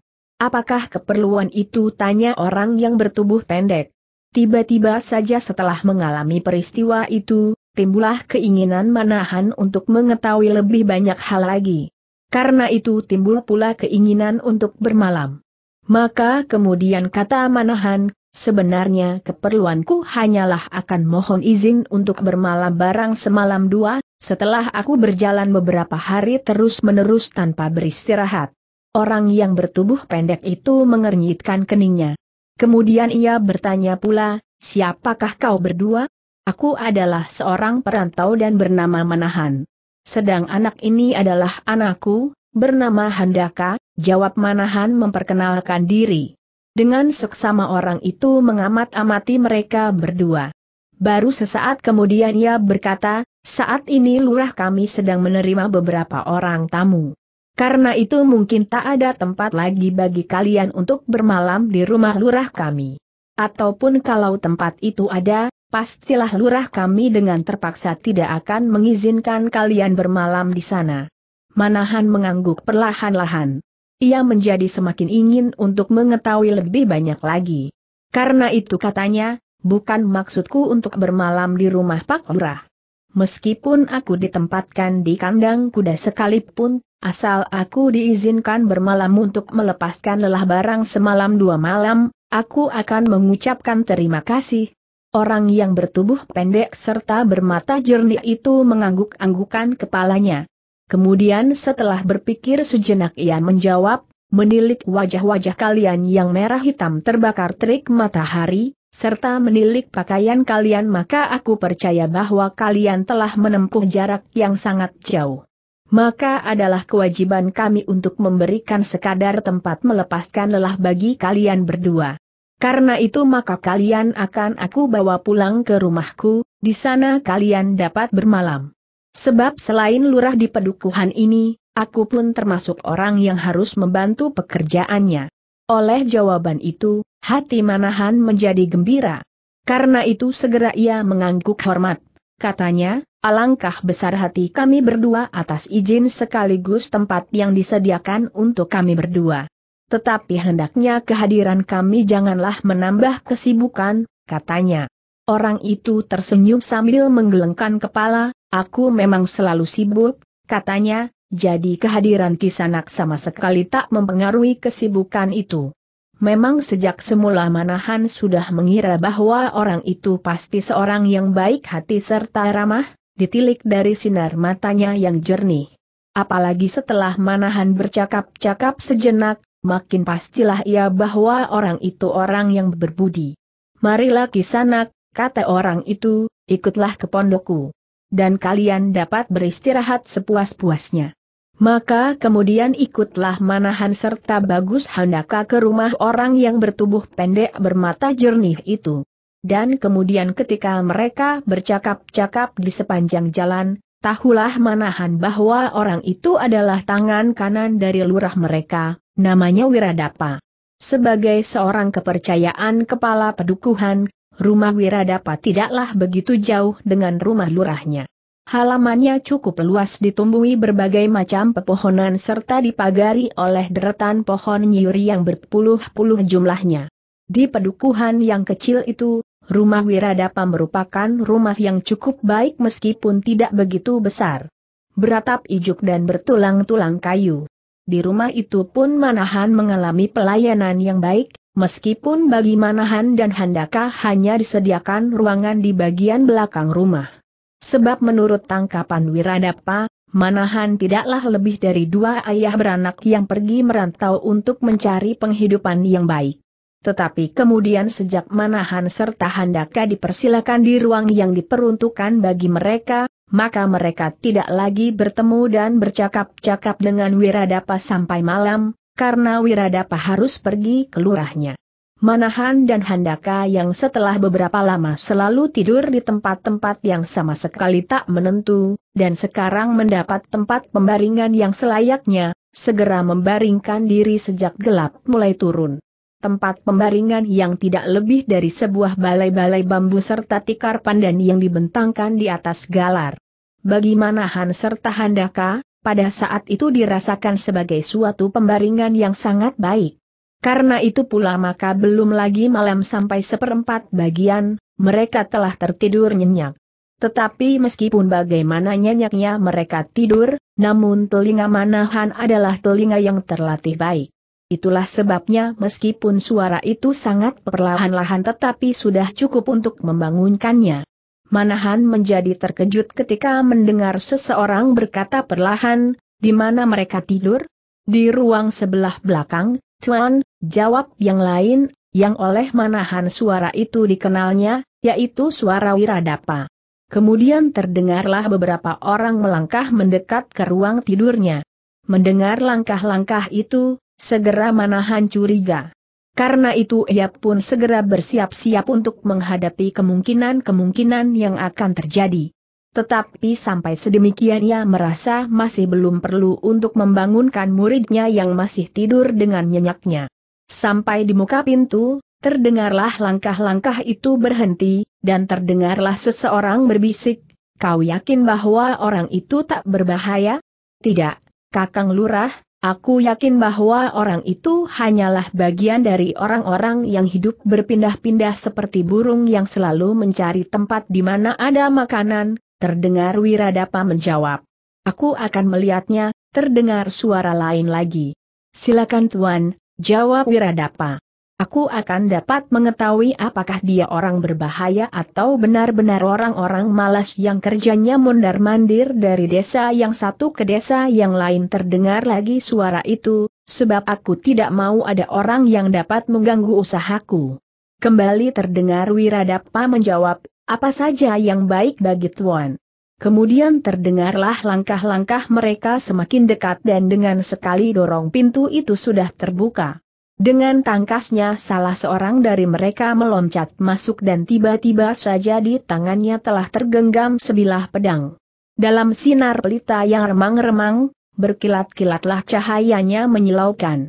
Dengan suara yang keras orang itu membentak, Hi, perantau malang, aku bunuh kau, Berbareng dengan itu melekatlah ujung pedangnya di dada manahan yang masih saja berbaring di balai-balai bambu. Mendengar orang itu berteriak, Bagus Handaka menjadi terkejut. Cepat ia dapat menguasai kesadarannya karena latihan-latihan berat yang pernah dijalani. Tetapi demikian ia akan bergerak, terasalah pergelangannya dipijat oleh gurunya, yang berbaring di sampingnya. Sehingga dengan demikian ia mengurungkan niatnya, meskipun ia sama sekali tidak tahu maksudnya. Bahkan kemudian ia melihat gurunya menggigil ketakutan dan dengan suara gemetar berkata, Tuan, jangan aku Tuan bunuh. Ampunilah aku yang tidak berdosa. Untuk beberapa saat beberapa pasang mata memandanginya dengan seksama. Mereka terdiri seorang anak sebaya dengan Bagus Handaka, yang kira-kira baru berumur 16 tahun. Dialah yang dengan geraknya yang lincah mengancam manahan dengan pedangnya. Kemudian dia di sampingnya sebelah menyebelah berdiri dua orang yang lain lagi terdiri Wiradapa dan seorang lagi yang disebutnya Kakang Lurah. Ialah kepala daerah pedukuhan Gedangan. Kemudian terdengarlah anak yang memegang pedang itu berkata dengan nyaring, menyebutlah nama nenek moyangmu, sebab saat kematianmu telah datang. Handaka tidak tahu siapakah yang telah mengancam gurunya, juga orang-orang yang berdiri di dalam ruangan itu. Ia tidak habis herannya melihat sikap gurunya. Bagainya lebih baik mati dengan tangan terentang daripada mati seperti seekor cacing yang sama sekali tak berdaya. Bukankah gurunya telah menuntunnya demikian dalam menghadapi lawan-lawannya? Tetapi sekarang gurunya sendiri bersikap sebagai seorang pengecut. Karena perasaan-perasaan yang berdesakan itulah Handaka menjadi gemetar bukan karena ketakutan, tetapi karena pergolakan dadanya yang tak tertahan. Hampir Handaka tak dapat menguasai dirinya ketika sekali lagi ia mendengar Manahan menjawab, Ampun Tuan, ampun. Apakah dosaku maka Tuan akan membunuhku? Melihat sikap Manahan itu Wiradapa memandangi wajah anak muda yang memegang pedang itu dengan sikap meminta untuk membebaskannya. Tetapi anak muda itu agaknya sama sekali tidak menaruh belas kasihan. Namun kemudian terdengarlah ia tertawa sambil berseru, apakah kerjamu berdua di sini? Manahan nampak gugup mendengar pertanyaan itu. Maka jawabnya gemetar, aku tidak apa-apa, Tuan. Sungguh aku tidak apa-apa. Sekali lagi anak muda itu tertawa menyeringai. Sedang ujung pedangnya masih saja melekat di dada Manahan. Sesaat kemudian terdengarlah ia berkata, kau datang pada saat yang tidak menguntungkan bagimu, dan setelah itu ia merenung sejenak menyambung kenapa kau pilih desa ini untuk bermalam? Manahan memandang wajah anak muda itu dengan wajah kecemasan. Untuk beberapa lama ia tidak menjawab, sampai terdengar anak muda itu membentaknya, Hei perantau malas, jawab, kenapa kau bermalam di sini? Aku tidak tahu. Jawab Manahan gugup. Anak muda itu menarik nafas panjang mendengar jawaban Manahan yang ketakutan itu. Kemudian tangannya yang memegang pedang itu mengendor. Dan dengan nada yang merendahkan ia berkata, kalau di dunia ini dipenuhi oleh orang-orang macam itu, maka manusia ini tak ada bedanya dengan binatang-binatang melata yang mengais makanan dari dalam tanah tanpa dapat berbuat apa-apa, kemudian ia membentak, Hi orang-orang malang. Kau harus menggerakkan tanganmu kalau kau ingin mengisi perutmu. Selama kau berada di sini kau harus bekerja keras. Aku menjadi muak melihat kau menjual belas kasihan untuk mendapat makan. Karena itu besok pada saat matahari terbit, kau sudah harus datang ke rumah Bapak Lurah untuk menerima pekerjaan yang harus kau lakukan besok. Sesudah berkata demikian anak muda itu segera menyarungkan pedangnya kembali, dan sekali lagi dengan pandangan yang menghina ia menggerutu, seharusnya orang-orang macam itu wajib dimusnahkan, supaya dunia kita tidak kekurangan makan, setelah itu segera ia pun melangkah pergi, diikuti oleh kedua orang yang bertubuh kokoh kuat berwajah seram, serta lurah pedukuhan itu. Tinggallah Wiradapa yang memandangi Manahan dengan perasaan welas. Tetapi ketika ia akan berkata sesuatu, terdengarlah suara di luar, Hiwiradapa, apa yang kau kerjakan?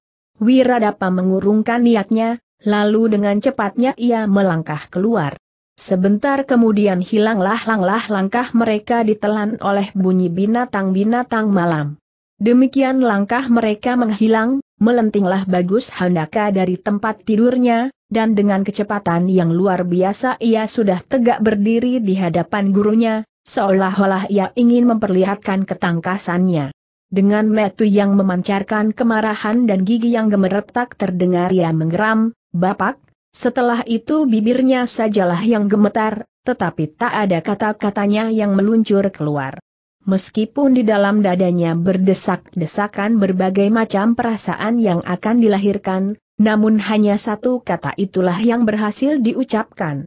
Tetapi ia bertambah bingung dan tidak mengerti ketika dilihatnya gurunya masih saja berbaring dengan bibir yang tersenyum-senyum. Baru ketika ia melihat Handaka gemetar di hadapannya, ia berkata duduklah Handaka. Tetapi Handaka masih saja tegak seperti patung, suara gurunya itu tidak terdengar oleh telinganya yang seperti mendesing-desing, sehingga Manahan terpaksa mengulangi lagi, duduklah Handaka. Dengan perasaan yang dipenuhi oleh teka-teki, Handaka kemudian duduk di samping gurunya. Namun terasa bahwa dadanya masih bergetar keras. Tenanglah Handaka. Tak ada yang perlu kau khawatirkan, sambung Manahan kemudian. Tetapi, sahut Handaka tergagap. Tetapi kenapa demikian? Handaka menjadi semakin bingung ketika gurunya kemudian tertawa panjang, meskipun perlahan-lahan, supaya tidak menimbulkan suara liuh. Apa yang demikian tanya Manahan sambil tertawa. Handaka menjadi semakin bingung, meskipun demikian ia menjawab, kenapa Bapak tadi menjadi sedemikian takut? Kalau Bapak tidak menahan aku, barangkali aku sanggup berbuat sesuatu untuk mengusir mereka. Ataupun kalau mereka adalah orang-orang sakti, bukankah lebih baik binasa daripada mereka hinakan sedemikian? Bagus, memang sedemikianlah seharusnya, potong manahan. Tetapi kenapa aku tidak boleh berbuat demikian sambung Handaka yang merasa mendapat kesempatan untuk menyatakan perasaannya. Maka mengalirlah kata-katanya seperti hujan yang dicurahkan dari langit. Dan kenapa Bapak sama sekali tidak melakukan perlawanan? Malahan Bapak minta ampun kepada orang yang sama sekali tidak kenal. Bukankah kami tidak pernah berbuat kesalahan terhadap mereka? Sebab kami belum pernah bertemu sebelumnya, dan... Tanda petik. Sudahlah Handaka, potong manahan. Tenanglah, dan dengarkanlah kata-kataku seterusnya. Handaka menjadi terdiam. Ia mencoba untuk mendengarkan kata-kata gurunya dengan baik. Handaka, kata manahan kemudian, aku percaya bahwa apa yang kau katakan itu dapat kau lakukan memang harusnya kita berbuat demikian. Tetapi untuk kali ini aku mempunyai pertimbangan-pertimbangan lain. Pertimbangan pikiran yang kadang-kadang bertentangan dengan perasaan. Sebagai seorang laki-laki yang berhati jantan, seharusnya kita lawan setiap serangan dengan dada tengadah. Apalagi penghinaan. Namun demikian ada kalanya keadaan menuntut tanggapan yang lain atas penghinaan yang kita terima itu. Karena pertimbangan-pertimbangan itulah maka aku tidak melawan sama sekali ketika anak muda itu mengancamku dengan pedangnya. Tetapi ia tidak sekadar mengancam, bertanya Handaka, bagaimana kalau pedang itu benar-benar ditusukkan kepada bapak? Bukankah ia tidak berbuat demikian jawab Manahan sambil tersenyum, dan hal itu aku ketahui dengan pasti. Ia hanya akan menggertak untuk mengetahui apakah aku memiliki kemampuan untuk melawan atau tidak. Ia hanya ingin mengetahui apakah kita memiliki ilmu tata perkelahian atau tidak. Sekarang ternyata bahwa ia telah mendapat kesan bahwa kita adalah orang-orang yang malas, yang merantau dari satu desa ke lain desa untuk sekadar mendapat makan. Bukankah dengan demikian kita mendapat keuntungan? Setelah diam sejenak, Manahan kemudian meneruskan, Handaka, sebenarnya aku ingin mengetahui apa yang mereka lakukan di sini, tanpa kecurigaan apa pun. Mendengar penjelasan itu Handaka menundukkan kepalanya. Ia menjadi malu kepada dirinya sendiri atas ketergesa-gesaannya. Apalagi ia telah telanjur seolah-olah mengajari gurunya. Ternyata apa yang dilakukan gurunya adalah suatu care untuk maksud-maksud tertentu. Sudahkah kau jelas Handa katanya Manahan? Handaka mengangguk perlahan. Sadarlah ia sekarang, betapa banyak persoalan yang sama sekali tidak dipikirkannya, yang ternyata perlu untuk diketahuinya. Ternyata bahwa tidak semua persoalan harus diselesaikan dengan kekuatan dan kekerasan, tetapi dapat diambil care yang lain. Dengan demikian ternyata bahwa pandangan gurunya sangat jauh mendahuluinya. Nah, Handaka, marilah kita tidur kembali. Hari masih malam. Tutuplah pintu itu, ajak Manahan sambil membaringkan dirinya kembali. Handaka sama sekali tidak berkata sepatah kata pun. Perlahan-lahan ia pun bangkit menutup pintu, dan kemudian merebahkan dirinya di samping Manahan. Pikirannya sibuk menduga-duga siapakah orang-orang yang telah datang menjenguknya tadi. Dalam remang-remang cahaya pelita ia tidak dapat memandang wajah mereka dengan jelas. Handaka, kata Manahan pelan, mulai besok kita akan mendapat pekerjaan baru. Aku tidak tahu apakah kira-kira yang harus kita kerjakan. Mudah-mudahan dengan demikian kita akan mengetahui siapakah mereka dan apakah maksud kedatangan mereka kemari. Tetapi alangkah sombongnya anak muda itu, Bapak, gerutu Handaka. Manahan tertawa pendek, lalu jawabnya, bukankah itu persoalan biasa? Anak-anak sebaya dengan kau memang sedang dalam taraf pergolakan. Mereka senang menunjukkan ketangkasan serta kelebihannya. Handaka tidak menjawab lagi. Ia merasa bahwa sebagian jawaban gurunya ditujukan kepadanya pula. Sesaat kemudian terdengarlah Manahan meneruskan, karena itu, jiwa yang bergolak itu harus mendapat saluran yang sebaik-baiknya.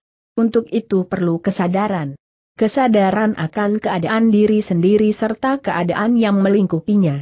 Seperti biasa, Handaka selalu mendengarkan nasihat gurunya baik-baik. Ia berjanji dalam hati bahwa ia akan berusaha untuk mentaatinya sejauh-jauh mungkin. Setelah itu Manahan tidak berkata-kata lagi. Kantuknya telah mulai menyerangnya kembali. Dan sesaat kemudian ia pun telah tertidur pula. Demikian pula bagus Handaka.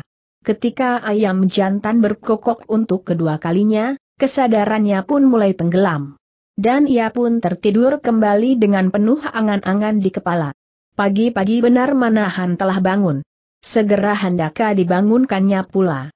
Sebab pada saat matahari terbit mereka harus sudah sampai di halaman kalurahan untuk menerima tugas-tugas yang akan diberikan oleh anak muda yang datang semalam. Ketika mereka keluar dari ruang itu mereka melihat Wiradapa sudah berdiri di pagar halaman. Agaknya ia pun baru bangun. Maka ketika ia melihat Manahan mendekati, ia pun berkata mengingatkan, Kisanak, bukankah kau diwajibkan datang ke kalurahan pagi ini? Manahan mengangguk hormat sambil menjawab, benar tuan, dan aku akan segera pergi. Baik Kisanak, bersiap-siaplah.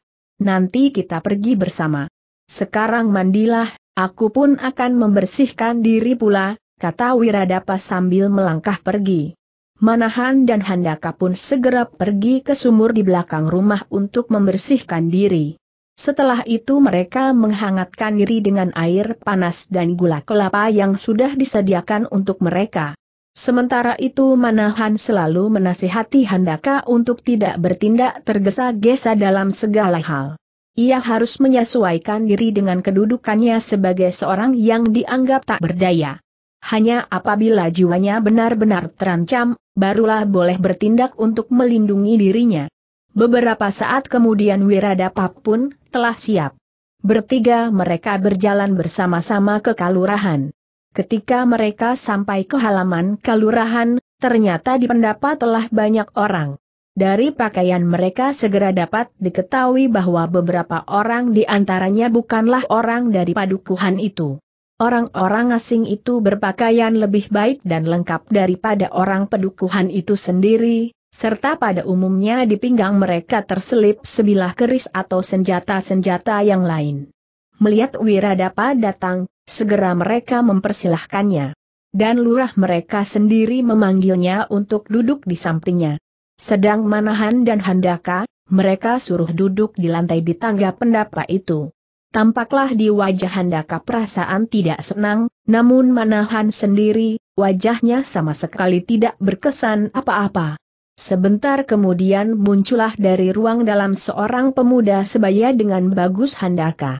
Wajahnya memancar cerah dan pakaiannya pun lebih baik dari pakaian mereka semua yang hadir di pendapa itu. Di sampingnya sebelah menyebelah, berdirilah orang-orang yang bertubuh gagah tegap dengan wajah-wajahnya yang seram. Mereka itulah yang tadi malam datang melihat Manahan di tempatnya menginap. Pada saat itu, sinar matahari yang baru saja naik, mulai menembus dedaunan dan jatuh di tanah-tanah lembab. embun malam yang melekat di rerumputan perlahan-lahan mulai mengering menimbulkan asap putih yang melapisi cahaya pagi. Sedangkan tetesan-tetesan embun yang tersangkut di dedaunan, tampak berkilat-kilat memantulkan cahaya matahari yang masih kemerah-merahan, seperti butiran-butiran permata yang cemerlang. Dengan semakin cerahnya cahaya matahari, semakin jelas pula lah wajah-wajah yang berada di dalam pendapa kalurahan. Mulai dari wajah yang sudah dikenalnya dengan baik, yaitu Wiradapa, sampai wajah lurah pedukuhan itu. Juga wajah orang-orang asing itu satu demi satu mulai dapat dikenal. Manahan dan Bagus Handaka yang duduk agak jauh dari mereka, mulai memperhatikan wajah-wajah itu pula. Satu demi satu. Namun Manahan tak dapat mengenal seorang pun dari mereka. Mereka bagi Manahan benar-benar orang asing yang belum pernah dilihat sebelumnya. Karena itu Manahan sama sekali tidak lagi menaruh banyak perhatian, kecuali menanti pekerjaan apakah yang akan diberikan kepadanya, dan seterusnya menyelidiki apakah yang mereka kerjakan di situ. Mudah-mudahan mereka tidak berbuat keributan, pikirnya. Lalu setelah itu mulailah perhatiannya beredar ke sudut-sudut halaman rumah kepala pedukuhan itu. Sejak dari pagar batu yang mengelilingi setinggi orang, sampai pada pohon-pohon liar yang tumbuh tidak begitu teratur bertebaran di sana-sini. Tetapi tiba-tiba Manahan terkejut karena gemeretak gigi Handaka. Ketika ia menoleh, dilihatnya wajah Handaka yang merah padam, sedang nafasnya mengalir cepat. Manahan menjadi agak terkejut. Sadarlah ia bahwa pasti ada sesuatu di hati anak itu. Untunglah bahwa Manahan cepat dapat menggamit bagus Handaka yang hampir saja melompat berdiri. Handaka, bisik Manahan, ada apa? Mata bagus Handaka menjadi merah menyala. Tubuhnya gemetar karena menahan diri. Bapak, biarkan aku kali ini membuat perhitungan, desisnya. Manahan menjadi keheran-heranan. Kau kenapa Handaka tanya Manahan? Aku tidak mau melepaskan anak itu pergi, jawabnya. Manahan menjadi semakin heran. Karena itu ia segera berusaha menenangkan hati bagus Handaka. Dengan perlahan-lahan ia berkata, Tenanglah Handaka, jangan kau biarkan perasaanmu meluap-luap. Ada apakah sebenarnya dengan anak itu? Bapak, belumkah Bapak kenal dia tanya Handaka? Manahan menggelengkan kepalanya. Semalam aku agak kurang dapat melihat wajah anak muda itu. Juga barangkali setelah tiga tahun aku tidak bertemu, maka baru setelah aku mengingat-ingat agak lama, aku kenal dia kembali, sambung bagus Handaka. Siapakah dia desak Manahan ingin tahu. Sawung Sariti, putra paman lembu sora, jawab Handaka. Berdesirlah dada Manahan mendengar jawaban itu. Memang sebelumnya ia belum pernah melihat anak itu. Tetapi bagaimanapun, Manahan tidak ingin maksudnya gagal. Apalagi setelah ia mengetahui bahwa anak itu adalah anak lembu sora, keinginannya untuk mengetahui maksud kedatangannya di pedukuhan itu semakin mendesak. Maka itu segera ia berkata, Bagus Handaka, cobalah kuasai perasaanmu. Dengan bertindak tergesa-gesa barangkali, tidak banyak keuntungannya. Sudah aku katakan bahwa aku ingin mengetahui apakah kedatangannya kemari. Agaknya ia sudah tidak mengenal kau kembali setelah kau menjadi anak sawah dan anak laut barangkali kulitmu telah hitam terbakar matahari dan tersiram ombak lautan. Hal itu adalah suatu keuntungan bagimu sehingga usaha kita tidak lekas dapat diketahui. Dengan mengetahui lebih banyak tentang Sawung Sariti itu, bukankah jalanmu menjadi semakin licin? Bagus Handaka menekan giginya kuat-kuat. Ia sedang berusaha untuk menenangkan dirinya. Seperti biasa ia tidak pernah berani melanggar perintah dan nasihat gurunya, bagaimanapun nasihat atau perintah itu bertentangan dengan kehendaknya. Handaka, sambung manahan, barangkali permintaanku ini mengecewakan engkau, tetapi dengan sangat aku harapkan bahwa kau dapat memenuhinya. Handaka menundukkan kepalanya. Dengan penuh ketaatan ia menjawab, baiklah bapak, Aku selalu berusaha untuk dapat memenuhi nasihat Bapak. Manahan mengangguk-anggukan kepalanya perlahan-lahan. Sambil tersenyum ia berkata pula, nah, sekarang nikmatilah permainan ini. Ingat, kita adalah perantau yang tak berharga. Dua orang ayah beranak yang malas, yang pergi dari satu tempat, ke lain tempat untuk menuntut belas kasihan orang. Handaka menganggukkan kepalanya, tetapi ia tidak menjawab. Terkilaslah di dalam otaknya permainan-permainan aneh yang pernah dilakukan oleh gurunya, yang kadang-kadang sangat membingungkannya. Kemudian teringat pula lah keanehan orang yang tak dikenal, yang bahkan gurunya pun tak mengenalnya, yang mengajarkannya dengan cara yang sama sekali tak diduga-duganya. Enam malam berturut-turut menyerangnya dengan cara yang berbeda-beda menurut urutan yang teratur. Apakah setiap orang sakti itu mempunyai care-care yang tidak menurut kebiasaan orang-orang lumrah pikirnya? Tetapi ia tidak menanyakan hal itu kepada gurunya. Sementara itu terjadi pula lah berbagai pembicaraan di antara orang-orang yang berada di pendapa. Pembicaraan mereka mula-mula berkisar pada persoalan-persoalan yang berarti. Tentang sawah, air dan tentang kebiasaan-kebiasaan penduduk pedukuhan itu.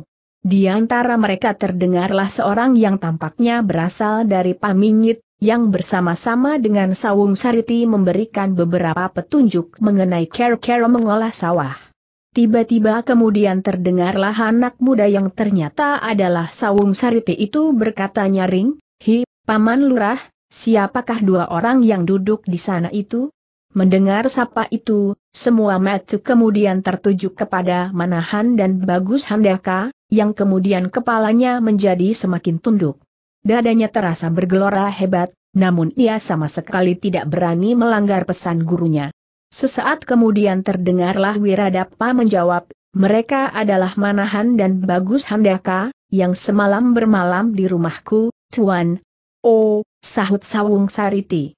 Untuk apa mereka datang kemari? Bukankah Tuan yang memerintahkannya jawab Wiradapa pula. Terdengarlah Sawung Sariti tertawa. Suaranya terdengar melengking tinggi. Katanya, benar paman, memang aku yang menyuruhnya kemari. Aku sama sekali tidak senang melihat orang bermalas-malas seperti kedua orang itu. Mendengar percakapan itu dada bagus Handaka serasa akan pecah terdesak oleh gelora perasaannya. Ia belum pernah mengalami tanggapan yang sangat menyakitkan hati seperti itu. Ia menjalani semua pahit getir penghidupan dengan senang hati, tetapi tidak untuk direndahkan sedemikian. Namun dengan tabah ia menelan segala kepahitan itu, sebagai suatu kewajiban. Karena itu mukanya menjadi merah pengap. Dadanya seolah-olah berdentang-dentang oleh pukulan detak jantungnya. Manahan melihat keadaan bagus Handaka itu dengan penuh pengertian. Sebenarnya ia merasa kasihan kepada anak itu, namun ia harus mengajarinya menahan diri. Maka dengan lembut ia berbisik, di dalam perjalanan hidupmu kelak handaka, banyaklah tekanan-tekanan batin yang lebih dahsyat daripada permainan ini. Karena itu anggaplah kali ini sebagai latihanmu yang masih terlalu ringan. Kata-kata manahan itu ternyata besar pengaruhnya. Memang latihan selamanya terasa hebat. Karena itu ia menjadi agak tenang dan menerapkan dirinya dalam suatu keadaan latihan. Paman Lurah, kembali terdengar suara Sawung Sariti, pekerjaan apakah yang dapat diberikan kepada orang-orang malas itu?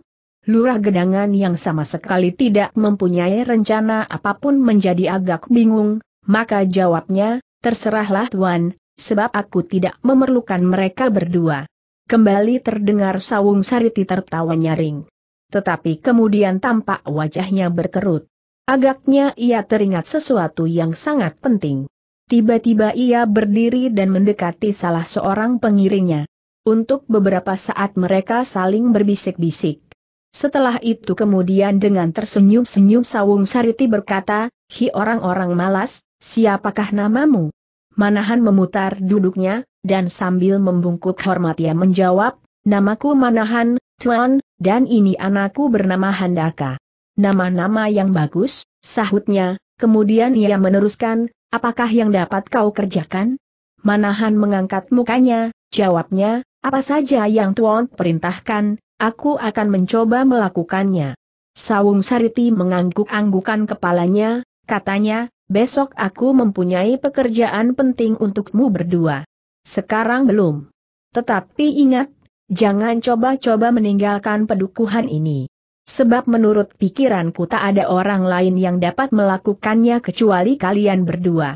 Kalau kalian mencoba dengan diam-diam pergi dari pedukuhan ini, maka pasti orang-orangku akan menemukan kalian dan memenggal leher kalian. Mengerti? Manahan memandangi wajah anak muda itu dengan penuh pertanyaan. Dengan nada bertanya-tanya ia menjawab, pekerjaan apakah yang akan Tuan berikan itu? Dan adakah aku mampu melaksanakan? Kau pasti dapat melakukan, jawabnya bersungguh-sungguh lalu ia meneruskan, karena kalian akan melakukan pekerjaan yang penting itu, maka sekarang kalian boleh beristirahat, tidur untuk sehari penuh. Dan jangan takut kelaparan untuk sehari ini. Paman Wiradapa akan memberimu makan sebanyak-banyaknya. Sekali lagi dada Handaka berguncang. Apalagi kalau diingatnya bahwa orang yang mengucapkan kata-kata itu adalah anak pamannya yang telah berkhianat kepada ayahnya. Tetapi kemudian Bagus Handaka telah dapat menempatkan perasaannya sebaik-baiknya, sehingga karena itu hanya suatu tarikan nafas yang dalam yang terdengar. Nah, orang-orang malas, sambung Sawung Sariti, sekarang kau boleh pergi. Kau boleh berjalan ke mana kau suka, tetapi ingat jangan tinggalkan pedukuhan ini. Baiklah Tuan, jawab Manahan penuh hormat. Dan kemudian bersama-sama dengan Bagus Handaka mereka meninggalkan halaman kalurahan. Mereka berjalan begitu saja sepanjang jalan desa tanpa tujuan. Manahan berjalan di depan dengan kepala tunduk, sedang di belakangnya Bagus Handaka mengikutinya dengan kepala yang dipenuhi teka-teki. Ke mana kita pergi Bapak tanya Handaka kemudian. Manahan menoleh, dan kemudian memperlambat jalannya sampai Handaka berjalan di sisinya. Kemudian ia menjawab, asal kita berjalan Handaka. Melihat sawah-sawah, ladang serta lereng-lereng pegunungan. Apakah kira-kira yang harus kita kerjakan besok pagi tanya Handaka pula. Entahlah, jawab Manahan. Agaknya bukan pekerjaan yang menyenangkan. Setelah itu mereka berdua bersama-sama berdiam diri. Tetapi kaki mereka melangkah terus sepanjang jalan yang kemudian sampai ke daerah persawahan. Batang-batang jagung yang sudah setinggi lutut, tampak hijau segar di bawah sinar matahari pagi. Burung liar terbang bertebaran mencari mangsanya. Dan di sana-sini beberapa orang telah mulai mengerjakan sawahnya. Menyangi tanamannya dan mengalirkan air dari parit-parit. Meskipun apa yang mereka lakukan adalah cara-cara yang sederhana sekali, namun karena tanah yang subur maka tanaman mereka tampak subur pula. Manahan dan Handaka berjalan saja berkeliling tanpa tujuan. Ketika kemudian matahari semakin tinggi, mereka berdua beristirahat di bawah pohon rindang di simpang jalan. Selama itu tidak juga banyak yang mereka percakapan, karena pikiran mereka masing-masing dipenuhi oleh berbagai masalah yang melingkar-lingkar. Matahari merayap-rayap semakin tinggi di kaki langit. Manahan dan Handaka melihat iring-iringan orang berkuda keluar dari pedukuhan. Mereka adalah Sawung Sariti dengan tiga atau empat pengawalnya, Pak Lurah dan beberapa orang lagi.